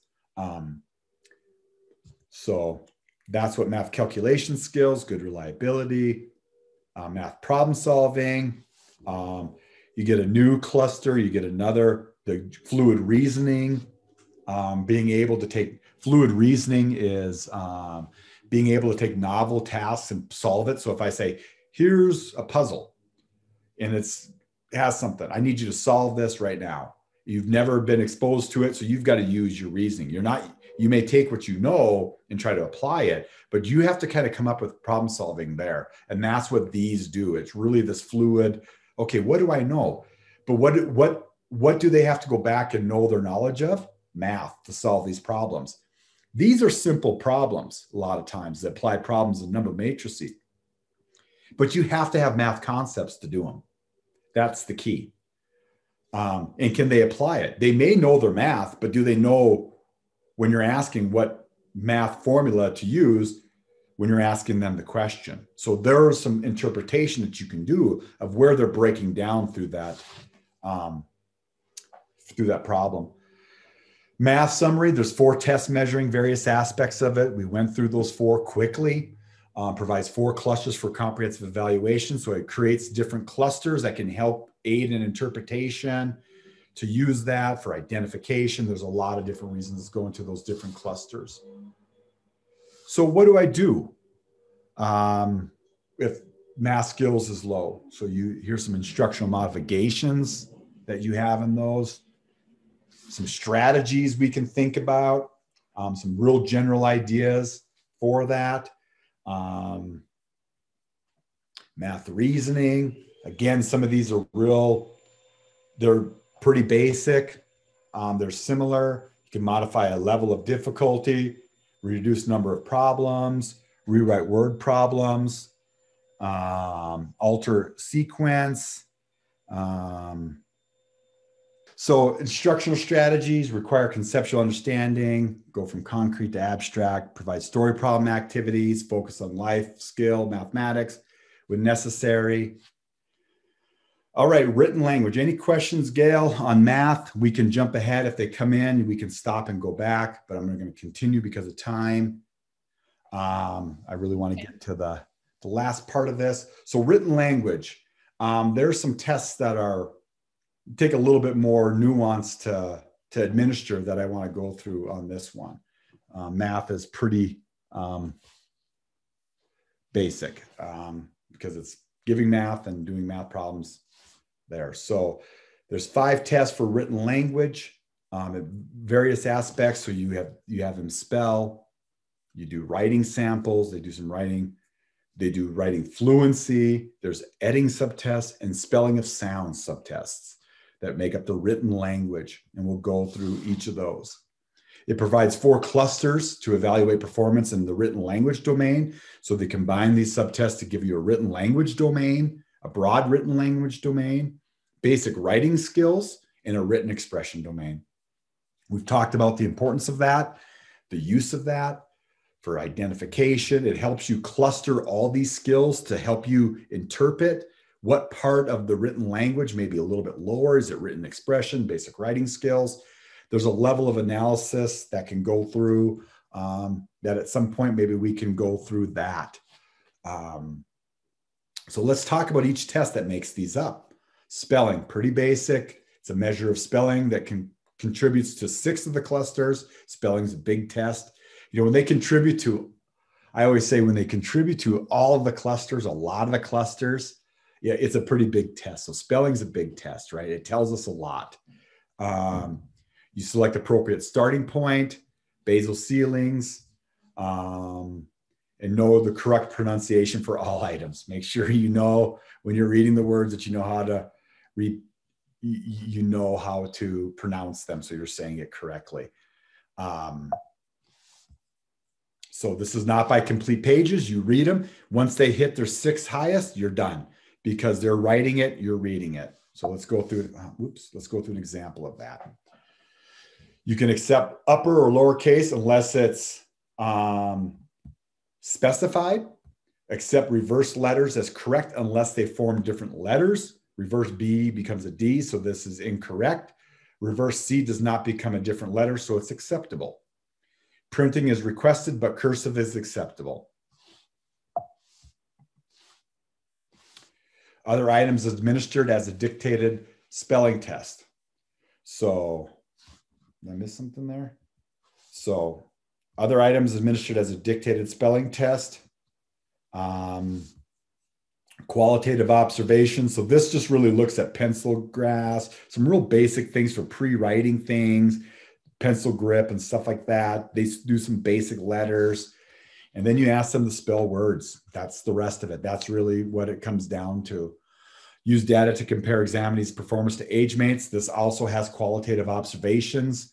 You mark one of these four boxes. They compare it to the, the normative sample that they have how did other five year olds, how did other six year olds, how did other fourth graders do compared to their peers to help you understand was their performance better, worse, compared to their standard scores. It just, again, a lot of numbers to help you make sense of what you're seeing with this student. Writing samples um, is the next test. It's a measure of written expression that contributes to five of the clusters. Select appropriate block of items to administer based on examinee's estimated achievement level. I think this can be tough. I think this is the hardest one to guesstimate because this is the task I think kids most often don't want to do because they, a lot of times students who struggle academically appear to sometimes struggle with the written task. I have a lot of kids who just, oh, I don't want to do this. I don't want to do writing and all of this. Um, so getting that block of items is right because if you if you if you start too easy, then you have to give 18 instead of 12 items. If you start too hard, then you have to you start them off at a frustrational level and you have to go back and give them easy items. So you you do your best and you know you get you get good at guesstimating where they're at. So you select your appropriate block of items to administer um, based upon what you know of their estimated achievement level. Hopefully, by this time in the test, you have an idea of how they're going to do so it can help you. And then you consult the adjusted item block chart in the test record form if the score falls in a shaded area to determine if you need to do additional items should be administered. Items one through six are scored one or zero. So pretty basic. That's for very young kids. The items seven and higher through the rest are scored two, one, or zero. You can score items half or one, one and a half. And a lot of people don't know that. If it's really between a two or a one and you can't decide, score a one and a half.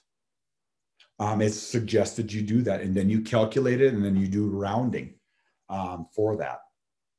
Um, use the scoring because a half point between 10 and 11 isn't going to make that big of a difference between a standard score in the average range or but if they miss that point they're going to be well below average. That just isn't going to happen. You're going to get them in the general area and there's standard error of measurement. There's an error right?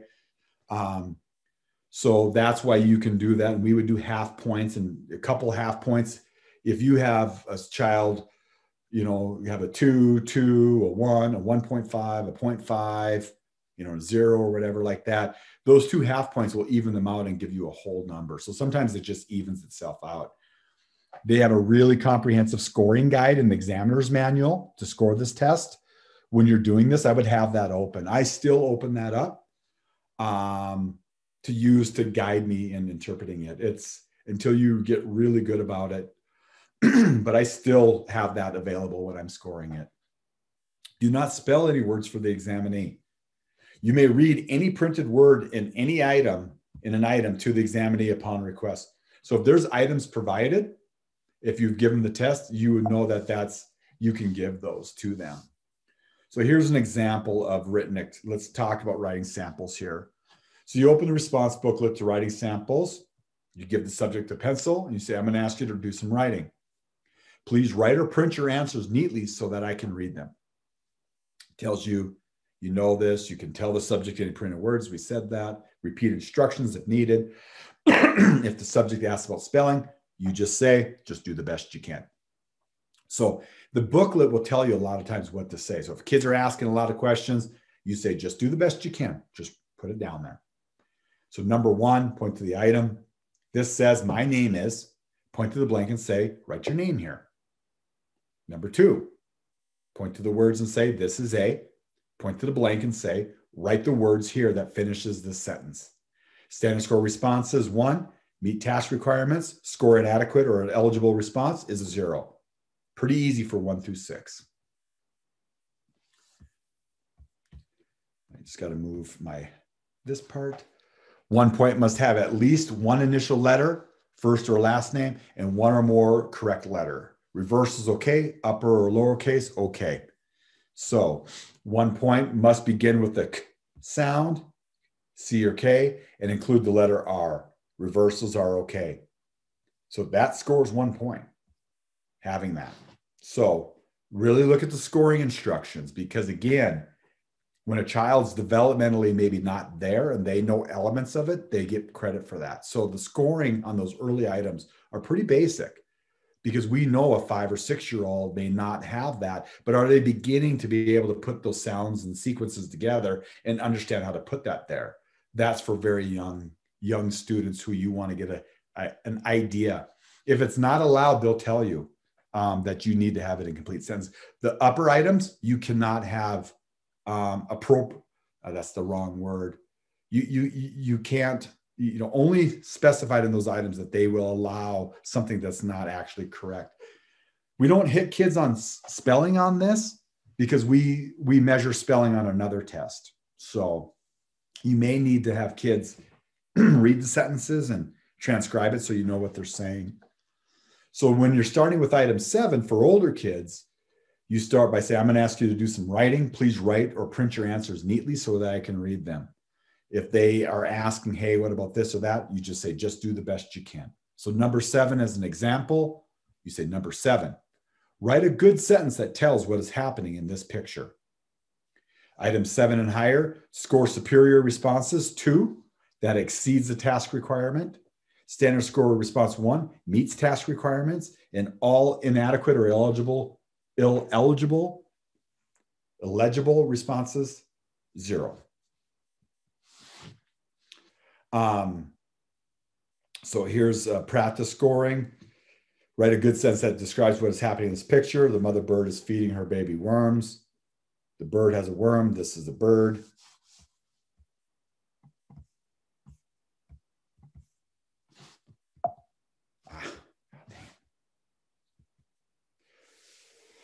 So this, of course, is a two-point response of exceptional, much more detail. The bird has a worm. One point, this is a bird, not adequate. So a way to look at that. Write a good sentence that tells what the girl is doing. So here's some samples of how you would score this. The girl is swing, that's one point. They have a lot of elements. Jeepers, cannot. The girl is playing on a swing at the park, two points. The girl is nice, zero points. Not eligible. Here is um, the adjusted block items. So when you select them, it's not based upon their age, it's based upon the items and how they do to know if you need to go on. So this is, oops, let me go back. This is one I think that can sometimes be confusing. So let's spend a little bit of time on this. Um, when a score falls in the shaded area on the scoring table, use the adjusted block item above to determine what additional items to administer. So you started with items 7 through 18, that's where you judged, right? So if after giving items 7 through 18, the examinee earns four points, see note 3. Give items 1 through 6 and base the final score on items 1 through 12. So you go to there. So if they didn't have that, so they got in the shaded area, they got a four. So anything in the shaded area, you go to three and you come here and you administer and then you base your sp- scores off that. So Gail, I would like to stop there for a second and, and see if there's any questions on that because that can be tricky. Do people understand that? Are there any questions on how to adjust that item block? This is the part that becomes a little tricky on items. People may ask, can I go back and re-administer if I missed it? Yeah, you can. I have done that where I've calculated, I scored it later and I looked at it and I calculated it wrong because sometimes I try to calculate it in real time, but the score is so close. I have had to go back and re-administer some items. You know, I try to do that as soon as possible, not a lot of difference of time. There's certain tests, I pay a lot of attention to this test because this is the one that will give me this is the one that I have to go back and usually administer more items, you know. So I want to make sure I get it right so I don't have to bring the kid in and try to do it all in one setting or go back in the testing session and maybe just grade it superficially. If there's a question, give more items because you don't have to calculate those items in the score. You're just giving the kid more test items than they really need. And I just try to avoid that as much as I can. So Gail, there are a couple of um, comments. Um, one is from Leslie. She says, Thank you. I know my questions probably seem, oh, repetitive. I'm sorry. That disregard. From Kathleen, she says, We give the writing tests, however, our psychologist scores these. Yep. Is that a common practice? Yeah, sometimes it is. I think just because it's so important to make sure and it can be complicated. Um, I actually used to do that when I was a psychologist. I would have, I would suggest that that teacher scores it. And if they want to do that, I had my teacher score the items and then I would blindly score it beside them. And then I would go back to them on the scores that we differed on to say, why did we get a different score? And that's what I, that's how I did it. I always encourage in writing to have someone else scored if you have the time or look through them and say, is this right? Because it can be subjective. And so I don't think that's bad. However, if you defer that to them, you're not seeing some of those error patterns that you may want to see in their writing. So to just hand it off, if you're doing that, that's fine to make sure of accuracy, but make sure you're looking and, and following up with them to see what patterns of errors they had, because that's where you're going to know where to intervene is by the qualitative of what they're doing. That would be my only suggestion to that. So this is one you want to pay attention to. You want to know the scoring rules. You want to think about it because this is what trips people up. This is where we have to go back and add more items. So understanding test six writing samples, this is where I would open the manual, spend some time understanding it, knowing the scoring a bit better, and getting some assistance or help or understanding with it because it can be subjective. Okay. Um, did someone? Okay. Nope. nope I thought I that's it. No okay. other questions.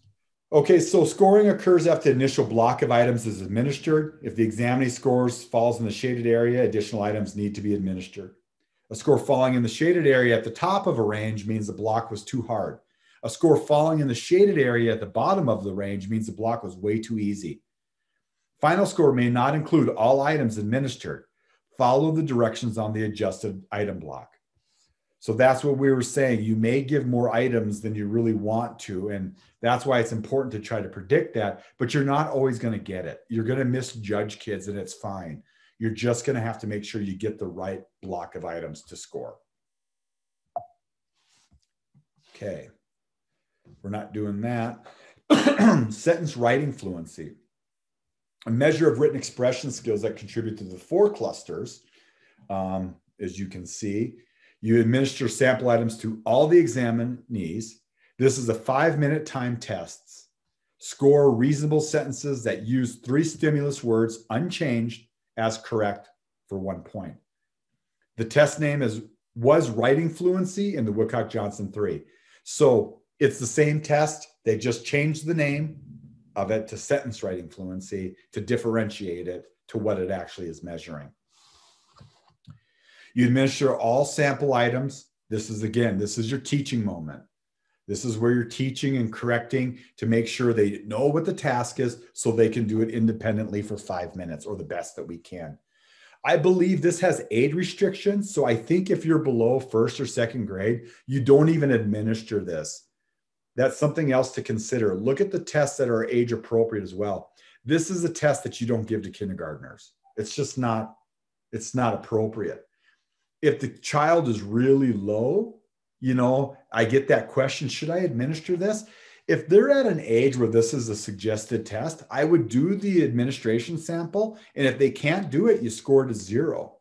You don't want to not administer something they can't do because it's going to elevate their score. If they're unable to do something that other six year olds can, you know, like six year olds, they probably can only do five or six of them in five minutes. It's not a high level. It's not like they're doing 20 of them. So if they can do one, if they can't do any, it matters because it's it's really because there's kids in the standardization sample who weren't able to administer it. That's how they build it. So don't shy away from a test you know they can't do because it, it'll stop you before you even start it. If they can't do the samples and you can't get past that, it tells you what to do, but don't avoid it. Um, so administer samples A through D to all examinees. So the cake is good.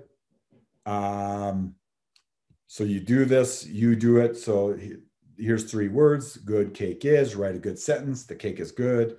Then you help them with the pig is fat. Then you have them write the pig is fat. Good job.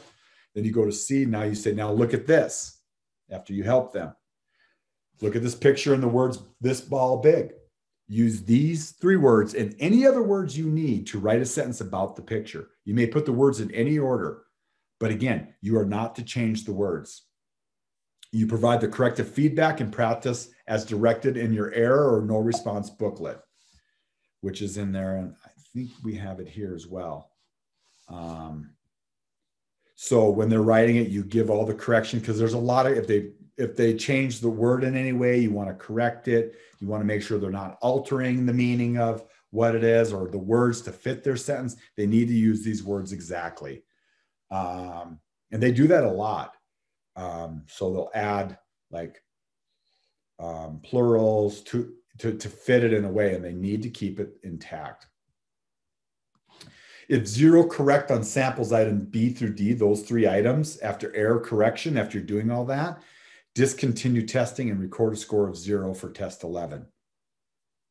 That's your stopgap to not give a too hard of a test for a kid. If they don't have this skill, because this is a hard skill, this is one that kids struggle with, it's putting a lot of different things together it has that stopgap to not administer it. But we want to get that score so we're not overestimating a child's ability because we didn't administer something we knew they would struggle with. If they score a one or more, you continue testing. Um, on test items, if three or fewer correct after two minutes, discontinue the testing and record a school, record the score in two minutes for the time. So again, another stopgap through the testing. We don't want to have we don't want to take kids to a frustrational level if they don't have them but it's important to get a score on this test to help us with interpretation with eligibility and a lot of things. And i see teams skip tests that are perceived too hard but we need those numbers because they matter for high stakes eligibility and those type of things test 14 editing um, this is a measure of writing skill that contributes to the basic writing skills cluster. I don't see this test administered as often. I'm seeing it more and more with older kids, um, but it's a good it's a good measure of their understanding of writing from looking at it from a different lens. Again, you administer the sample items A through D to all examinees, then select appropriate starting points. basal and ceiling rules six lowest correct on item one, or the six highest correct or last item. You test by complete pages. You do not read any words for the examinee after sample items have been administered. So they do this task on their own. Um, I want to ride with them as the sample. To receive credit, examinee must identify and correct the error. If the examinee locates the error but does not correct it, say, how would you correct that mistake? I got to move So that's editing. Spelling of sounds test 16. Another one I don't see always given, but is a good one. It fits with the phoneme grapheme knowledge cluster. So this is a different, this is something else. If you're looking, when I was asked about word attack, this would be a test that I would give. If they scored poorly on word attack and I could see that, I may be inclined to give test 16. I may not have started the testing session wanting to give test 16, spelling of sounds, but because of some of the things I saw in earlier items, I may want to administer this based upon the question we had earlier about word attack, because this helps us with that phoneme grapheme knowledge cluster, which is important for kids to be figuring out words and spelling words and all of that. So you select appropriate starting point based upon what you know. Basal and ceiling rules, six lowest, six highest. It's not by complete pages. It's because you're asking them to spell. There's an audio recording for item six and higher. I've been doing, I used to give those, but I've been really utilizing that more so it's pronounced correctly and it follows the standardization. If there's an audio recording, I highly encourage. Um, I think there are, I think it is allowed to do it through yourself, but I would practice it to make sure you're not influencing or pronouncing things incorrectly that could influence a lower score or higher score. So as much as you can, use those audio recordings. Um, items may be repeated upon request, so you can repeat them. Starting point for preschool to grade three. So this is a good preschool younger kid test. I'm going to ask you to write some letters. I will tell you the sound the letter makes. Then you say the sound and write the letter here. And you point to your blank space. Let's try one. Write the letter that makes the s sound, as in sand. And the correct, so you get the correct is the S. Say the sound, not the letter name. When a letter appears to between slash marks, so you want to do the sound. So that gives you the the the, the phonetic sound of the letter. Okay. Um, number one, say the sound, then write the letter that makes the t sound as in top. Um, does not so you have your if they do not repeat the sound, say this say the sound before you write it. So you want them to say the sound, then write it. Examinees are asked first to say the sound or a non-word and then write it. Score is based on only the written response. So if you're if they're not doing it and they're writing it, it just helps them to make sure that they're subvocally kind of hearing what they're doing and using those those multi-sensory cues that they have of not just relying on what they're hearing. Um, but it's only scored on the written response. If they're just not doing the sound or they're not doing it and they're doing the task, then you're just going to score on the written response. But that's to help them make sure they're hearing the sounds. Starting point for grade three to adult. Um, so it's a different starting point, different items. I'm going to ask you to spell some words that are not real words. They are non words. Non words may sound like bip, oist, mib. Try to spell the non word in a way that you think it would be spelled if it were a real word. Listen carefully. I will say the non word twice. Then you say the non word and you write it on the line. Only acceptable, only acceptable correct responses are listed in the test book. So they it's not an exhaustive, it, it's it's the list that are that is there. The items are scored one or zero. Do not penalize the examinee for saying the non-word or mispronouncing it non-word first or mispronouncing it. Saying the word first is designed to help with spelling. It's used for qualitative information only.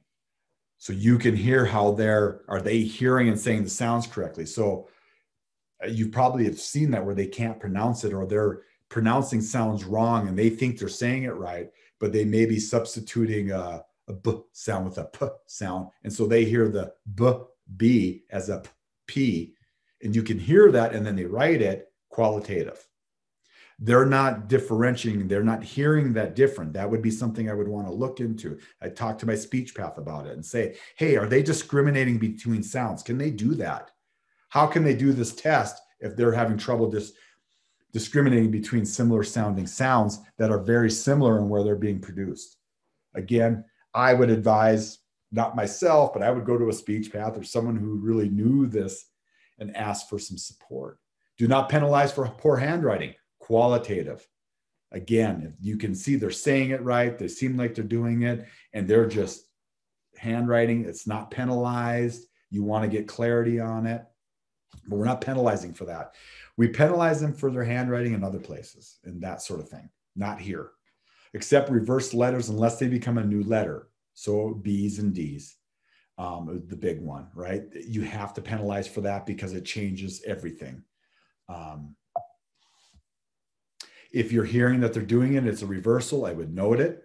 But again, that's going to impact their academics, right? If you know it's different, but they're going to get that counted wrong. They're going to, going through life and having that mispronounced changes a lot of things. That changes the context. So it's important that those reversals are counted um, and not just given credit for because you know they they understood it. They just have problems reversals. We've got to get those reversals because they can have other problems down the road. Um, the two cluster of written language achievement, including spelling of single words, quality of expression in reading and writing, um, spelling and writing examples, strong reliability. The three cluster of written language of achievement, including spelling of single words, fluency, quality of expression, goes to the reading writing cluster of um, the general writing and reading, and cognitive processing speed. So this weighs on a lot of processing speed as well. Again, because of this writing fluency. Um, basic writing skills, again, is just that reading and writing abilities. It's the spelling and editing. That's what it really weighs on. Again, processing speed because of the writing fluency and the general reading and writing are the clusters um, of those cognitive factors. Um, that factor analysis, if you know that stuff, that's these factors. Uh, written language summary. Um, the test includes five measures various aspects of written language. We went through each of those spelling, writing samples, sentence writing fluency, editing, and spelling of sounds. Provides four clusters of performance. So you have those four clusters. Contributes to the phoneme and grapheme knowledge cluster, spelling of sounds and word attack. So that's a good test for young kids. Is that and it, it weighs in on some of that that phoneme and grapheme knowledge. Um, that's there.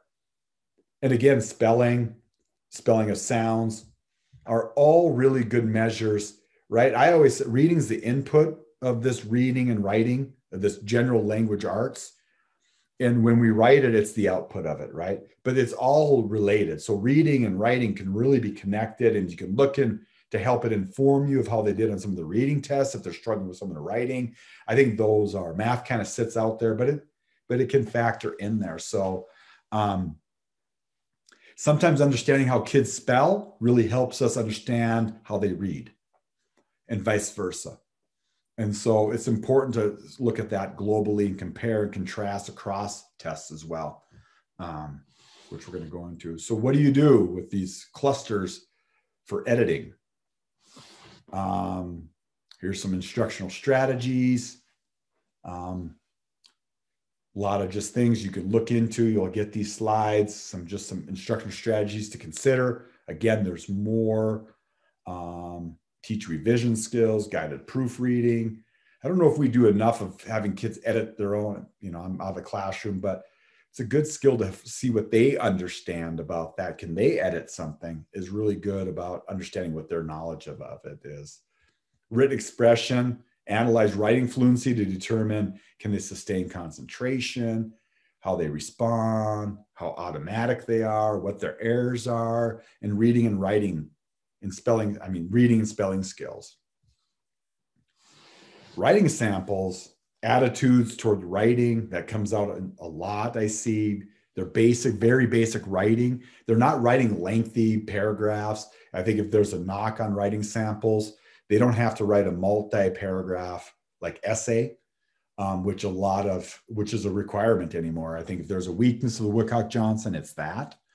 Um, so you may have to get a writing sample somewhere and kind of take a look at how they did in these these these sub tests to see how that's all being put together. Um, so it you could it'll understand oral language performance, their vocabulary, their organizational ability, um, to help you really understand some of those consider considerations. So the modifications, you can identify interests. They have plenty to write about, activate their background knowledge, do not penalize for spelling or punctuation errors, focus on the content, use media to dictate, dragon speak, or something similar to that. Emphasize the writing process, teach how to organize stories, use graphic organizers, again, multiple other things, but just some ideas of what you can do when you see these clusters. Instructional modifications um, for the writing fluency, increase time to complete written assignments. Again, when you go back and you see why they were failing, that's going to help you identify some of these modifications. These are just generally if it's low, but you got to see what they did here to help you determine what to do here is the point. And then some strategies provide opportunities to write, teach skills in simple or complex sequence, conduct daily time writing activity, use sentence combining ex- exercise, use sentence guides, etc. Um, clusters includes tests from different um, academic domains. So there are some cross-domain clusters that are included. Reading, writing, and math. We're going to talk real quickly about that. Um, there's seven cross domain clusters brief achievement and broad achievement, academic knowledge, academic skills, fluency, applications, and this phoneme grapheme knowledge. So they're taking tests from the reading, writing, and math, and they're creating new clusters you know, and, and we're talking about those, but the easy one's academic fluency, right? We talked about reading fluency, we talked about sentence writing fluency, and we talked about math facts fluency. That can give you an academic fluency measure. If they're doing poorly on all fluency items, but they did okay in other areas, we're talking about a fluency problem. So they have pretty good content, but there's something with their processing speed and how they, they their ability to do academic tasks fluently. So let's talk more about what how they're built and what that can mean to some. So brief achievement. So if you want to know, you could give test one, two, and three, and it gives you a brief achievement score. And it just says it's a reading test, a math test. It gives you an overall, a brief screening of achievement if they're averaging these basic things, you know, that's a good just screening. Does it tell you the whole problem? No. But it can be used as a brief achievement screening type of measure there um, with that. And we've done that for kids where um, high school kids sometimes we want to get some academics and we don't want to give the whole test, but we want to get some basic numbers that's where I think teams become very rigid in their selection of test items. The Woodcock Johnson has all these different clusters of how you can combine this. And it's really developed for you to look at the child and say, what cluster of tests should I give that I want to know? And how do I select those subtests to get the most information that's there? Not just given the same set of tests, it's to inform. And it can help you do that. Broad achievement. So this has nine tests. So you can just take it you can give these three, these three, to just give a broad academic test. I like these for reevals personally. We're not we're not thinking the child's going to be testing out, but we, you know, this is upper middle school, you know, upper elementary, middle school, they're in good intervention. We have a good handle of what's going on, but we want to make sure that we're staying on top of it, making sure we're seeing this. And this might be a good time to give some of these broad achievement scores to kind of vary it, to not to give the standard battery, just to make sure that we're continuing to have that information to see where those things are at. If something wacky comes out of it, you might want to go and give an additional test in one of these domains. It should be a, a fluid process. Um, it, it's built to be more fluid than than we use it i should say gail go ahead um couple things um, one i just want to remind people that there will be a link to the evaluation posted in the chat um, closer toward the end of the session and we will be doing a drawing for anybody that um, replies on the evaluation. And i'll tell you more about that toward the end of this. And before you get too far down the road this is your 30 minute warning, Dan. and um, I have one question, kind of a general question that you might want to address before you go on, and that is um, between one school psychologist and three special education teachers, how should we go about ensuring we are calibrating our administration for the greatest level of consistency and reliability? Well, this is Dan Mayer's opinion. Okay, I, I do not represent the Wyoming Department of Education. This is not anything that um, for Region 5 BOCES. Dan Mayer as a school psychologist, if I was one of those school psychologists, I believe that we should be training and discussing in in-service time test administration each year. Going through the tests we're going to use, reminding people of scoring, having discussions, calibrating amongst each other now and again, using some professional development time to communicate on that. And that's what we did. And it seemed to be, or in my past, that's what we did when I was part of that. Just to have some open dialogue with that. We would train all of our staff, special ed staff, as part of our in service. Now, this is years ago, but I would do the training on the Woodcock Johnson. That's why I feel like this is important. I wanted to make sure, because we assume people, when they come out, have had a wealth of knowledge in test and measurement. But some of these tests we're asking them because they have a special ed master's, they, they may not have administered. And so I think we need to make sure that people are comfortable with it. They have training on the administration. I think we need to tend to that. I think there's not many things that we've learned now. If it was a reading curriculum, I think we would have teachers go to in services if they adopted a new re- reading curriculum. We would go in and make sure we were tending to that, to those changes And I would just want to make sure that people felt good and do some reminders. And that's what we did. We would spend a day talking about the tests we used. And I think that would be a good way. We also would calibrate with each other um, on writing samples and different things to make sure we were on the same page of how we were scoring it. That's what I would do. I would do some professional development, use some in service time to spend some time. Uh, for me, I would say this holds, and Gail knows how, how I feel about this.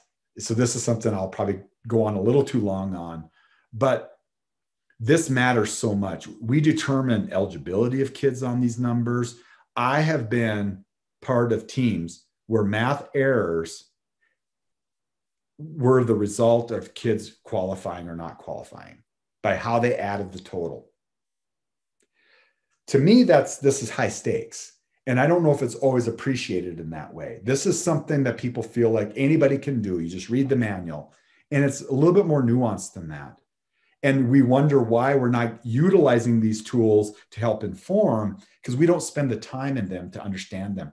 This Woodcock Johnson is a beast. I mean, I I don't want to lose people in the interpretation, but there's a 90 page interpretation. You can start making inferences on how clusters relate to each other if you read some of the clinical interpretation that Nancy Mathers, who Nancy Mather, who's from University of Arizona, is the big person for the Woodcock Johnson now, and she's borrowed me these slides because I think she just believes you can diagnose dyslexia in this. If you learn how these t- tests and tools and the scores work, you can do a lot of interpretation if we spend the time understanding it. But if it's given to you and get these numbers and they don't mean anything to you, that's the hard part. So we need to spend more time talking about these things. And we feel like it's, you know, when I did this, I I was very when I was thinking about doing this, I almost went away from doing what I just did today because I want because everybody wants to know what the interpretation side is. But I don't think you can do that until you understand what the test is doing. What is it actually measuring? What's the more details? So those are some thoughts on that. I guess I went maybe a little bit down a rabbit hole, but I just feel like we don't spend enough time in this kind of conversation. Eh, but there's such a high stakes to it that we need to really understand it. And I think it can really help kids. I believe that. I believe it can. I think we this doesn't this isn't superior to what a classroom teacher sees on a running record for reading. Every bit of information matters for a student. And we need to take all that information in and see what jives and what doesn't and figure out why those numbers aren't, because that's probably an intervention or where the problem is. We've got to think about it differently. We often say, well, your Woodcock Johnson's wrong, or your DIBELS is wrong, or your AIMSweb is wrong. And this is no, no, no, no, no. Nothing's wrong. All data is good data. It's telling us something. If you choose to look further, you'll find it. If you say things are wrong or that, then you're you're missing something. This is only information and take it for what it is. It's just information. But if we're not administering it right or we're making errors and we're making educational decisions, it, it is important to make sure we're doing it correctly. So thanks, Dan. you bet. So academic knowledge, science, social studies, and humanities, we haven't talked about those. Um, it talks about those various knowledge of academic knowledge. So it gives you that comprehension um, serves as the ability score for an ability achievement comparison. Woodcock Johnson believes that your academic knowledge should be your basis of intra individual achievement. So they use this academic knowledge to do their comparative of what's discrepant and what's not. Um, in these, the examinee is not required to read, and they're orally presented by the examiner.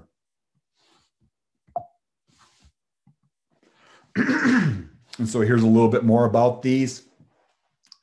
It's a domain specific knowledge that contribute to the academic cluster. And they ask science questions, some general science. You present them all orally and you ask their answer for it. So here's some examples, measures aspects of anatomy, biology, chemistry, geology, medicine, and physics. Listen, what organ in the body pumps blood? What is the name of the center of the retina where a person has the best or sharpest vision? So some pictures have pictures, they're orally, and some are shown in text. Social studies, same thing under social studies. looks at history, economics, ge- geography, government, and psychology. Complete all the queries indicated in the test book. What does this person do? What is what in what city was the first modern Olympic held, etc. And again, humanities, very similar, measures aspects of art, music, and literature, just gives them a general knowledge of what their general knowledge is, right? Um, and then you can, what's this picture? What are these musical notes? Listen carefully, finish what I say. Mary had a little lamb. Um, includes three tests, each measuring a basic skill. So academic skills, um, it looks at letter word ID, spelling. It's more the skills, right? So you're looking at the skills of reading, skills of written language, and skills of calculation. And it provides an overall index of the basic skills. So if you see that skills, it's going into these skills. Fluency, I already talked about this one. The fluency items, it gives you an academic fluency number. So it combines those to say fluency academic applications. So it's art, can you apply it? Applied skill in a different achievement. So they use math as applied problems, reading, passage comp. Can you use these skills? And we're going to take your skills away. And can you just do these? So it's very important writing samples. Provides a broad measure of applied academic skill. and then phoneme grapheme knowledge. We talked about this. It's word attack and spelling of sounds. Yields one cluster of phoneme grapheme knowledge it requires both the phonology and orthography. Um, um, and it provides insight to examinees' knowledge of sounds and symbols. So just a real summary. We went through all the testing items. Um, so it provides three forms of the standard battery, eliminates overexposure of items, supports team approaches, offers new reading tests, clusters for more comprehension, collects important qualitative information on checklists on the test record, provides academic knowledge, achievement comparison procedure, offers one extended battery for the use of all three forms of the standard battery, and it's normed with the Woodcock-Johnson cognitive test and oral language test. Any questions before we move on to a little bit more of an interpretation?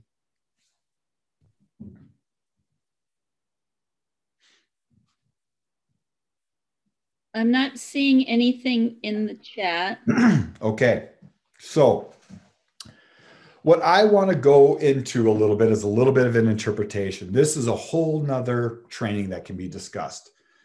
But one test score that I want to bring forward that we have is the RPI. Um, so when you look at interpretation, the, the, the Woodcock Johnson gives you all sorts of tests, and it's um, or I'm sorry, all sorts of scores. And like I told you at the beginning, I'm not, I didn't want to go through all the standard scores and what that means. You know, when we get more into interpretation, when we understand what the tests are, you know, then we can. One test measurement that the Woodcock Johnson has that I want to spend a little time on is this RPI score.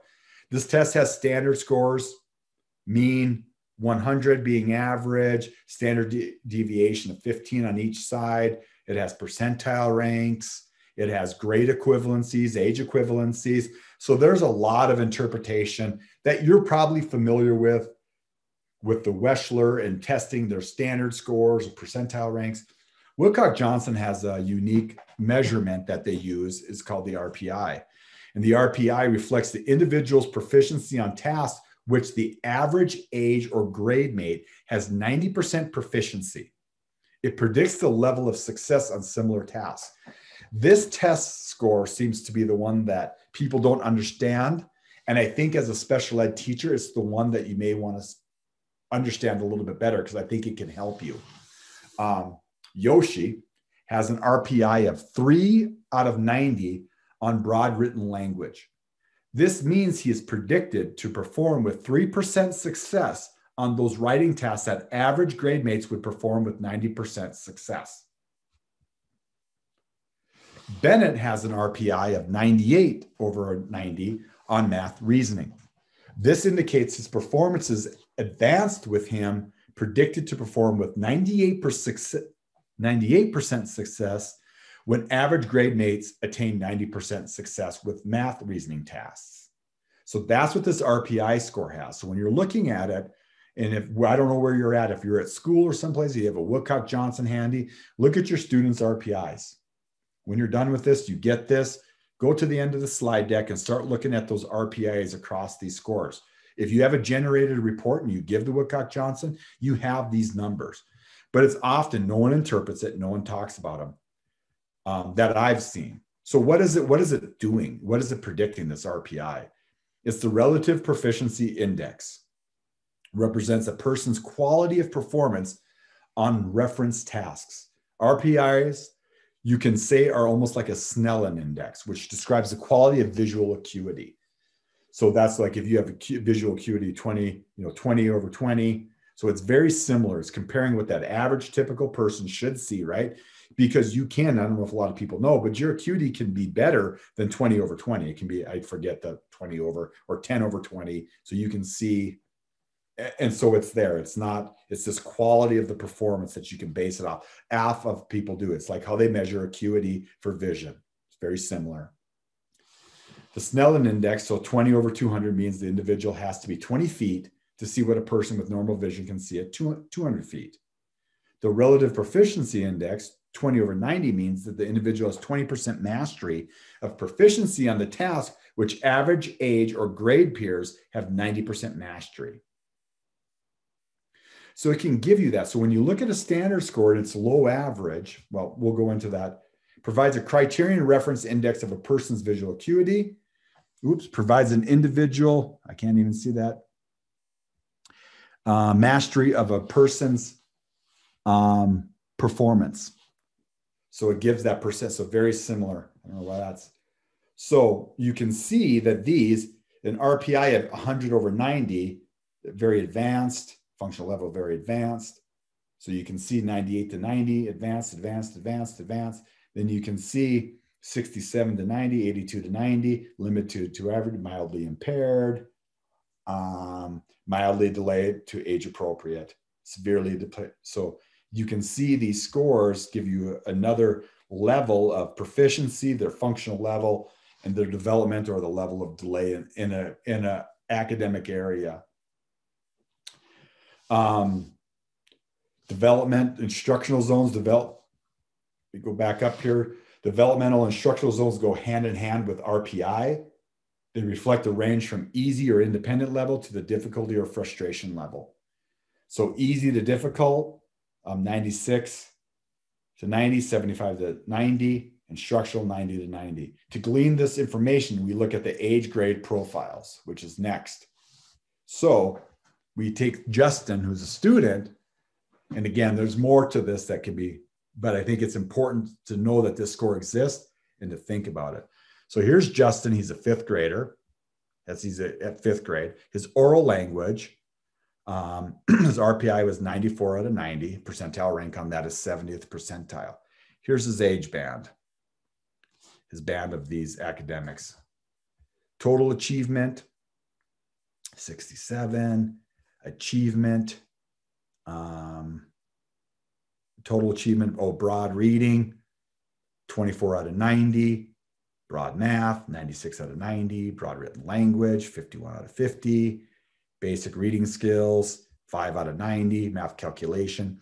So this is provided to you on the Woodcock Johnson test, but you can get a good sense of where kids are at on these bands, of where their instructional zones are, the developmental zones, based upon that, and you can get that.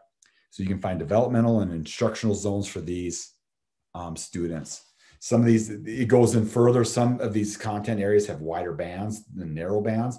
The narrower the band, the more we know about that skill. The larger band, it's the, the varying degree of development is, is wider. So one score either way can really have that. So it's a wider age band. The tighter it is, the more knowledge we have of where you really want to have these kids at their placement based upon their testing on these scores.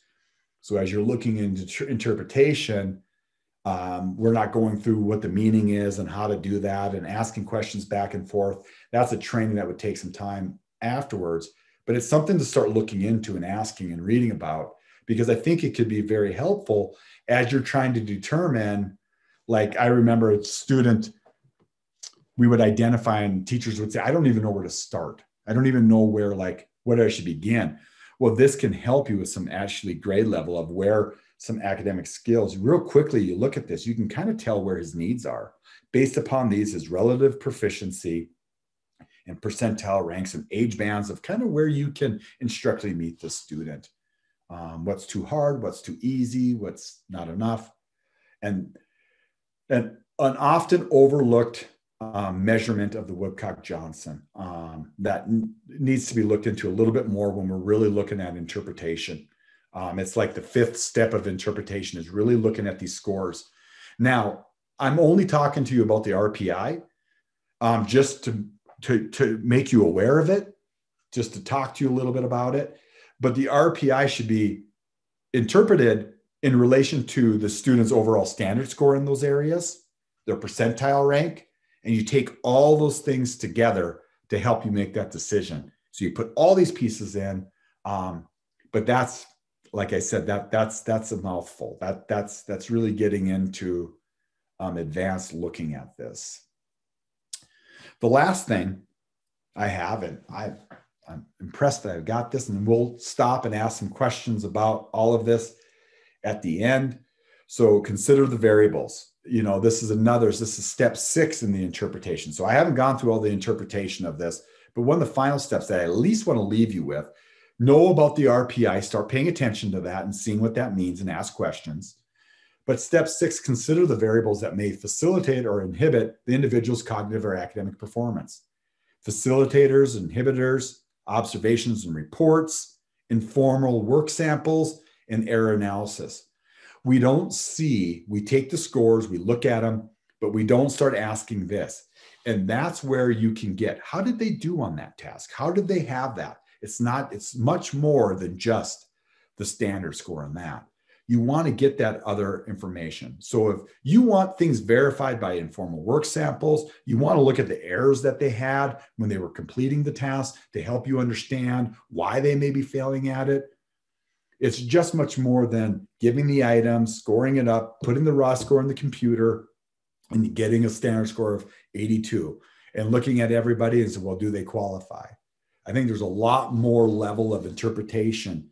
Once you get there and this spits out these comprehensive reports, there's a lot of information that can be utilized uh, moving forward. So that's all I have. Um, fast and furious. That leaves us uh, 10 minutes or so um, for any housekeeping you have, Gail. I'm, I'm willing to answer any questions that I did not um, get to in this presentation with the remaining time. Um, uh, well, let me do some housekeeping and we'll leave the remainder of time open perfect. for questions. Um, thank you, Dan. That I learned so much from that, and I have done the Woodcock Johnson, but it's it's a great refresher and also great to know about the changes for the uh, Woodcock 4. Um, I just want to remind everybody that before you sign off, please complete an online evaluation for today's session, and I'll tell you why. We are going to be um, doing a drawing, and I'm going to hold up my phone because I don't want to risk sharing the screen. There's this book called Essentials Essentials of Woodcock Johnson 4 Tests of Achievement. And it's written by Nancy Mather. You're familiar with this. Dan's shaking his head. And it gives you um, advice on avoiding common pitfalls. But what I like about it is it's really conveniently formatted for rapid reference. So I know everybody has the administration manual, and we all know um, what that looks like. But this book, um, we're going to do a random drawing from everybody that submits an um, evaluation, and one of you will win this book, and we will ship it to you. So please um, complete that. It takes about a minute to complete, but it really us guide um, our planning of future professional development events. And I just want to say that throughout this presentation, I've had several people in the chat, and some have chatted me privately, and some people have texted me. Um, what a great presentation it is, and and hoping that we can get additional Woodcock Johnson um, training throughout the year. So we'll be talking to Dan um, about that. Um, we've also posted links to the PTSB and STARS sign up sheets. So if you want to receive continuing ed credit for attending today, you'll need to click on one of those links. And finally, there's a registration link in the chat for um, upcoming WAVES sessions. So if you're interested in, I think we have another one um, this month. Um, and I, I'm sorry, I don't know the exact title of it. Leslie Bechtel Van Orman is presenting it. Tom, jump in, help me out with the title. Yes, Gail, that is the uh, visual impairment eligibility determination, uh, which will be on December 10th from 3 to 4.30 p.m. Thank you. And you can register for that. And um, I'm going to turn it back over to Dan, and we will keep the session open so everybody can access the links and put your comments in the chat. And again, thank you so much for taking the time to attend today and um, stay safe. So, Dan, I'll turn it over to you. All right. yeah. So, um, if there's anything I haven't covered or anybody would like to ask, you can put it in the chat or and Gail can help me monitor that, or you can unmute yourself if you're able and just ask away. Um, I was trying to see if there was anything I missed. Um, there's been a lot of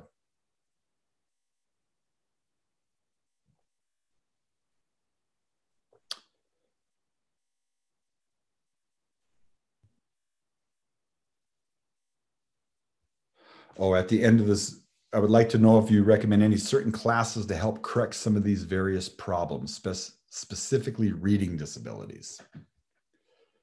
So, um, I wonder if I, Christine, or if you're on, I can see your name there. Do you want to unmute and clarify that? Um, a little bit more of specifically what I can answer for that? Yes. Yeah. I'm working with a group of students um, uh, having difficulty with reading, and it's a new job for me. Okay. And just at this point, with the little bit of testing I've been reviewing, I'm tending to see that they have not got phonemic awareness. What is there a specific class or something that you would recommend for this? Is yeah. Um a class you know that's something there's been a lot of presentations on that. You know when you get into the finer details of phonemic awareness and that i really look to my colleagues in speech pathology that you know a lot of the tests that measure the tests i give to measure phonemic awareness and those sort of things um, are really speech language tests. So we're starting to use a lot of their tools um, in some of our test and measurement so one thing i would think of doing is if you have any resources like that or know of any i would have a conversation with them um, but i think there's a lot of books that have been written on that um, I think there's a lot of self study that can happen. I think there's a lot of different resources. There's a lot of tools. There, we're, we're getting to know a lot about this area. It's it's pretty wide, and I think there might be some differing but opinions. But I think really, what I would say in that is really understanding, finding something that can help you. Maybe a test that dives into it deeper, so you understand where your kids are at a little bit deeper than where that's at. Because these tests just kind of give you the general vicinity but the woodcock johnson isn't a standalone like phonemic awareness test.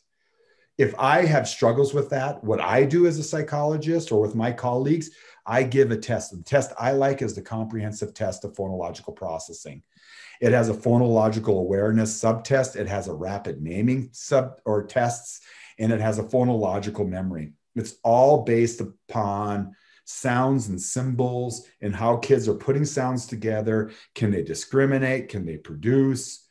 And um, understanding that um, is probably going to help you. And then matching strong interventions where where kids are struggling with that and helping them develop those skills in that.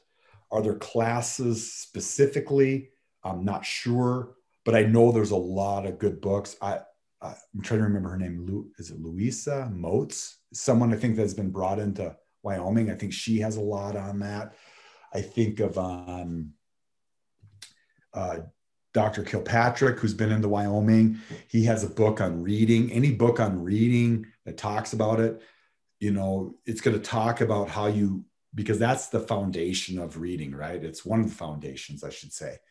And so there's been a lot that's been thought about that. But for specific classes, I'm not sure. But, uh, you know, I think, it, you know, there's different directions that you can point and if that's i think my email on the slides are there you can reach out to me if you like and i can maybe point you in a more specific direction um, if that doesn't answer it um,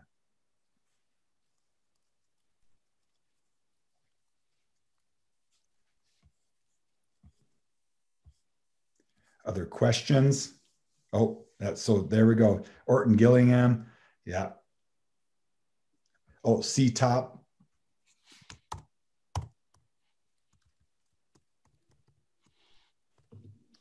So that CTOPP is the comprehensive test of phonological processing, and it's the second edition. So it's the second edition. And there's others. There's the PALS. And there's a lot of different training program. Orton Gillingham's one that I've heard of. Uh, I'm trying, boy, I'm out of practice on this, um, of what the latest and greatest is. Um, I moved into more of the behavioral side of stuff. So, um, but yeah, there's a lot of really strong programs that are out there to remediate those. Um, but again, remember, I think sometimes getting a little bit more information might be helpful. Any other questions?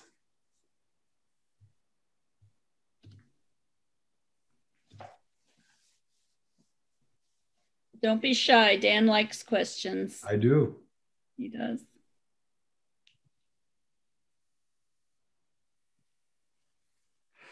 a plug on the book um, as people are thinking or having that. I do know some of that book. She they have some really good clinical interpretation chapters in this, really talking about scores and how to put them together and how different scores will match with each other. Uh, there is a level of interpretation that's pretty deep with this. If you, if you choose to go there with this test, you can. You can do a lot. If you really dive into it and really understand it, it becomes a tool. The more familiar you come with a tool, people ask me, do I vary tests? I don't vary tests often.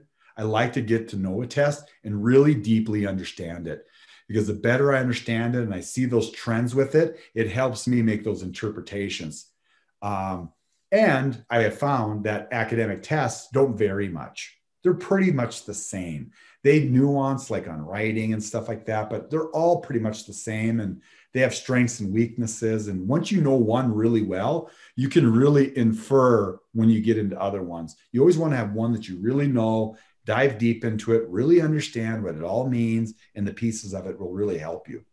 Um, Hi, Dan. This is Cassandra Fleming from um, the Wyoming Department of Education, and I have a question. Yeah.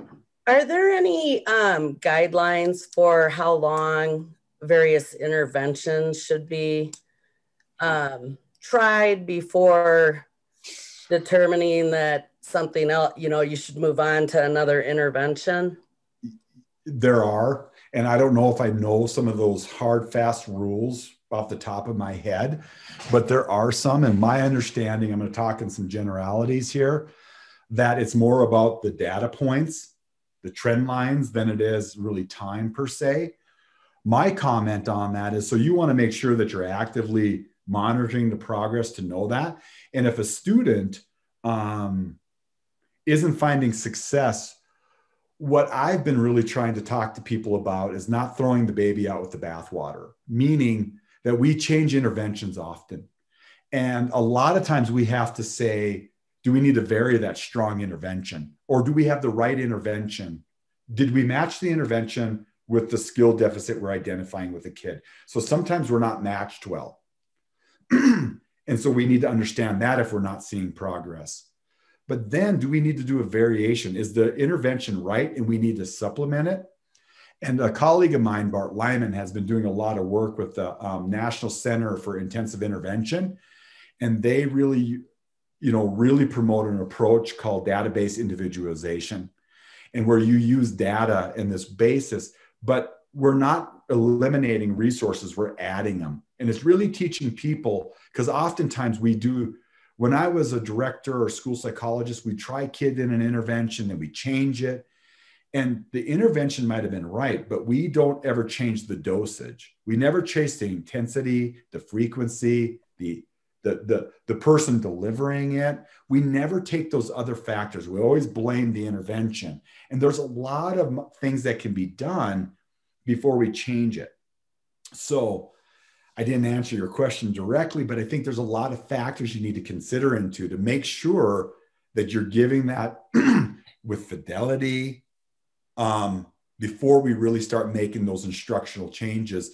And I'm seeing people really start to what I say pump the brakes on that. So we're not changing things around over and over and over again and really utilizing more of an approach and trying things and modifying strong interventions based upon that kid's need. That sometimes the tools are right, but what we have to do with that tier two intervention to make it a tier three intervention is add something to it or maybe do something special for that child. So time frames on changing interventions, I would just advise that you look at everything and not just focus on that intervention in that way. I read a study years ago that really influenced my thinking around interventions. And it was Fast ForWord, ironically, early on. And I know the state's doing some work around Fast ForWord. But one of the reasons that Fast ForWord and some of these interventions are effective is that to do it correctly, you have to do it for like an hour or two a day. And the intensity and duration that the kids are in in the intervention, we, th- we give the credit to the intervention. But some of these interventions require hour above what they're getting every day. And so it's really the duration and frequency that we're delivering this on top of what they're getting is the important piece. Yeah, you want to match the intervention. If they have a fluency problem and you're doing phonemic awareness, you've got a problem there. You got to do a fluency intervention. So that's one problem. but also, you want to be able to adapt what you're doing and understand why the child's struggling with that intervention. And I don't think we do that well to try things before we take it out. So the hard and fast rules of switching i think is more about data points and trying things and ensuring that this is not the right fit before we change it is how i would answer that thank you. Those were some really good just uh, considerations um, for people to take. So thank you. That was helpful. You bet. Other questions? Looks like we still have 25 people on um, in the meeting. I always wonder are they people that just walked away from their computer or are they wanting more? I'm sure they're all wanting more, Dan. Um, uh, I, am happy to stay on. If people want to check out, that's good. If people want to ask stuff, I'll hang on for 10, 15 minutes. And once people are gone, I'll, I'll, we'll know to leave, Gail. So if people want to yeah. check out and ask questions, I'll hang on for a minute and um, just waiting for any last minute nuggets of wisdom. Yeah. Yeah. Love that. Okay. Well, thanks everybody for your participation. Like I said, I'll hang on. You can check out if you want. I appreciate everybody's great questions. Um, I just appreciate everybody's attendance and great questions. And um, my contact information is there for those of you that know me. You know you can reach out to me. For those of you who don't, you can reach out to me. I'll respond. So. Thank you, Dan.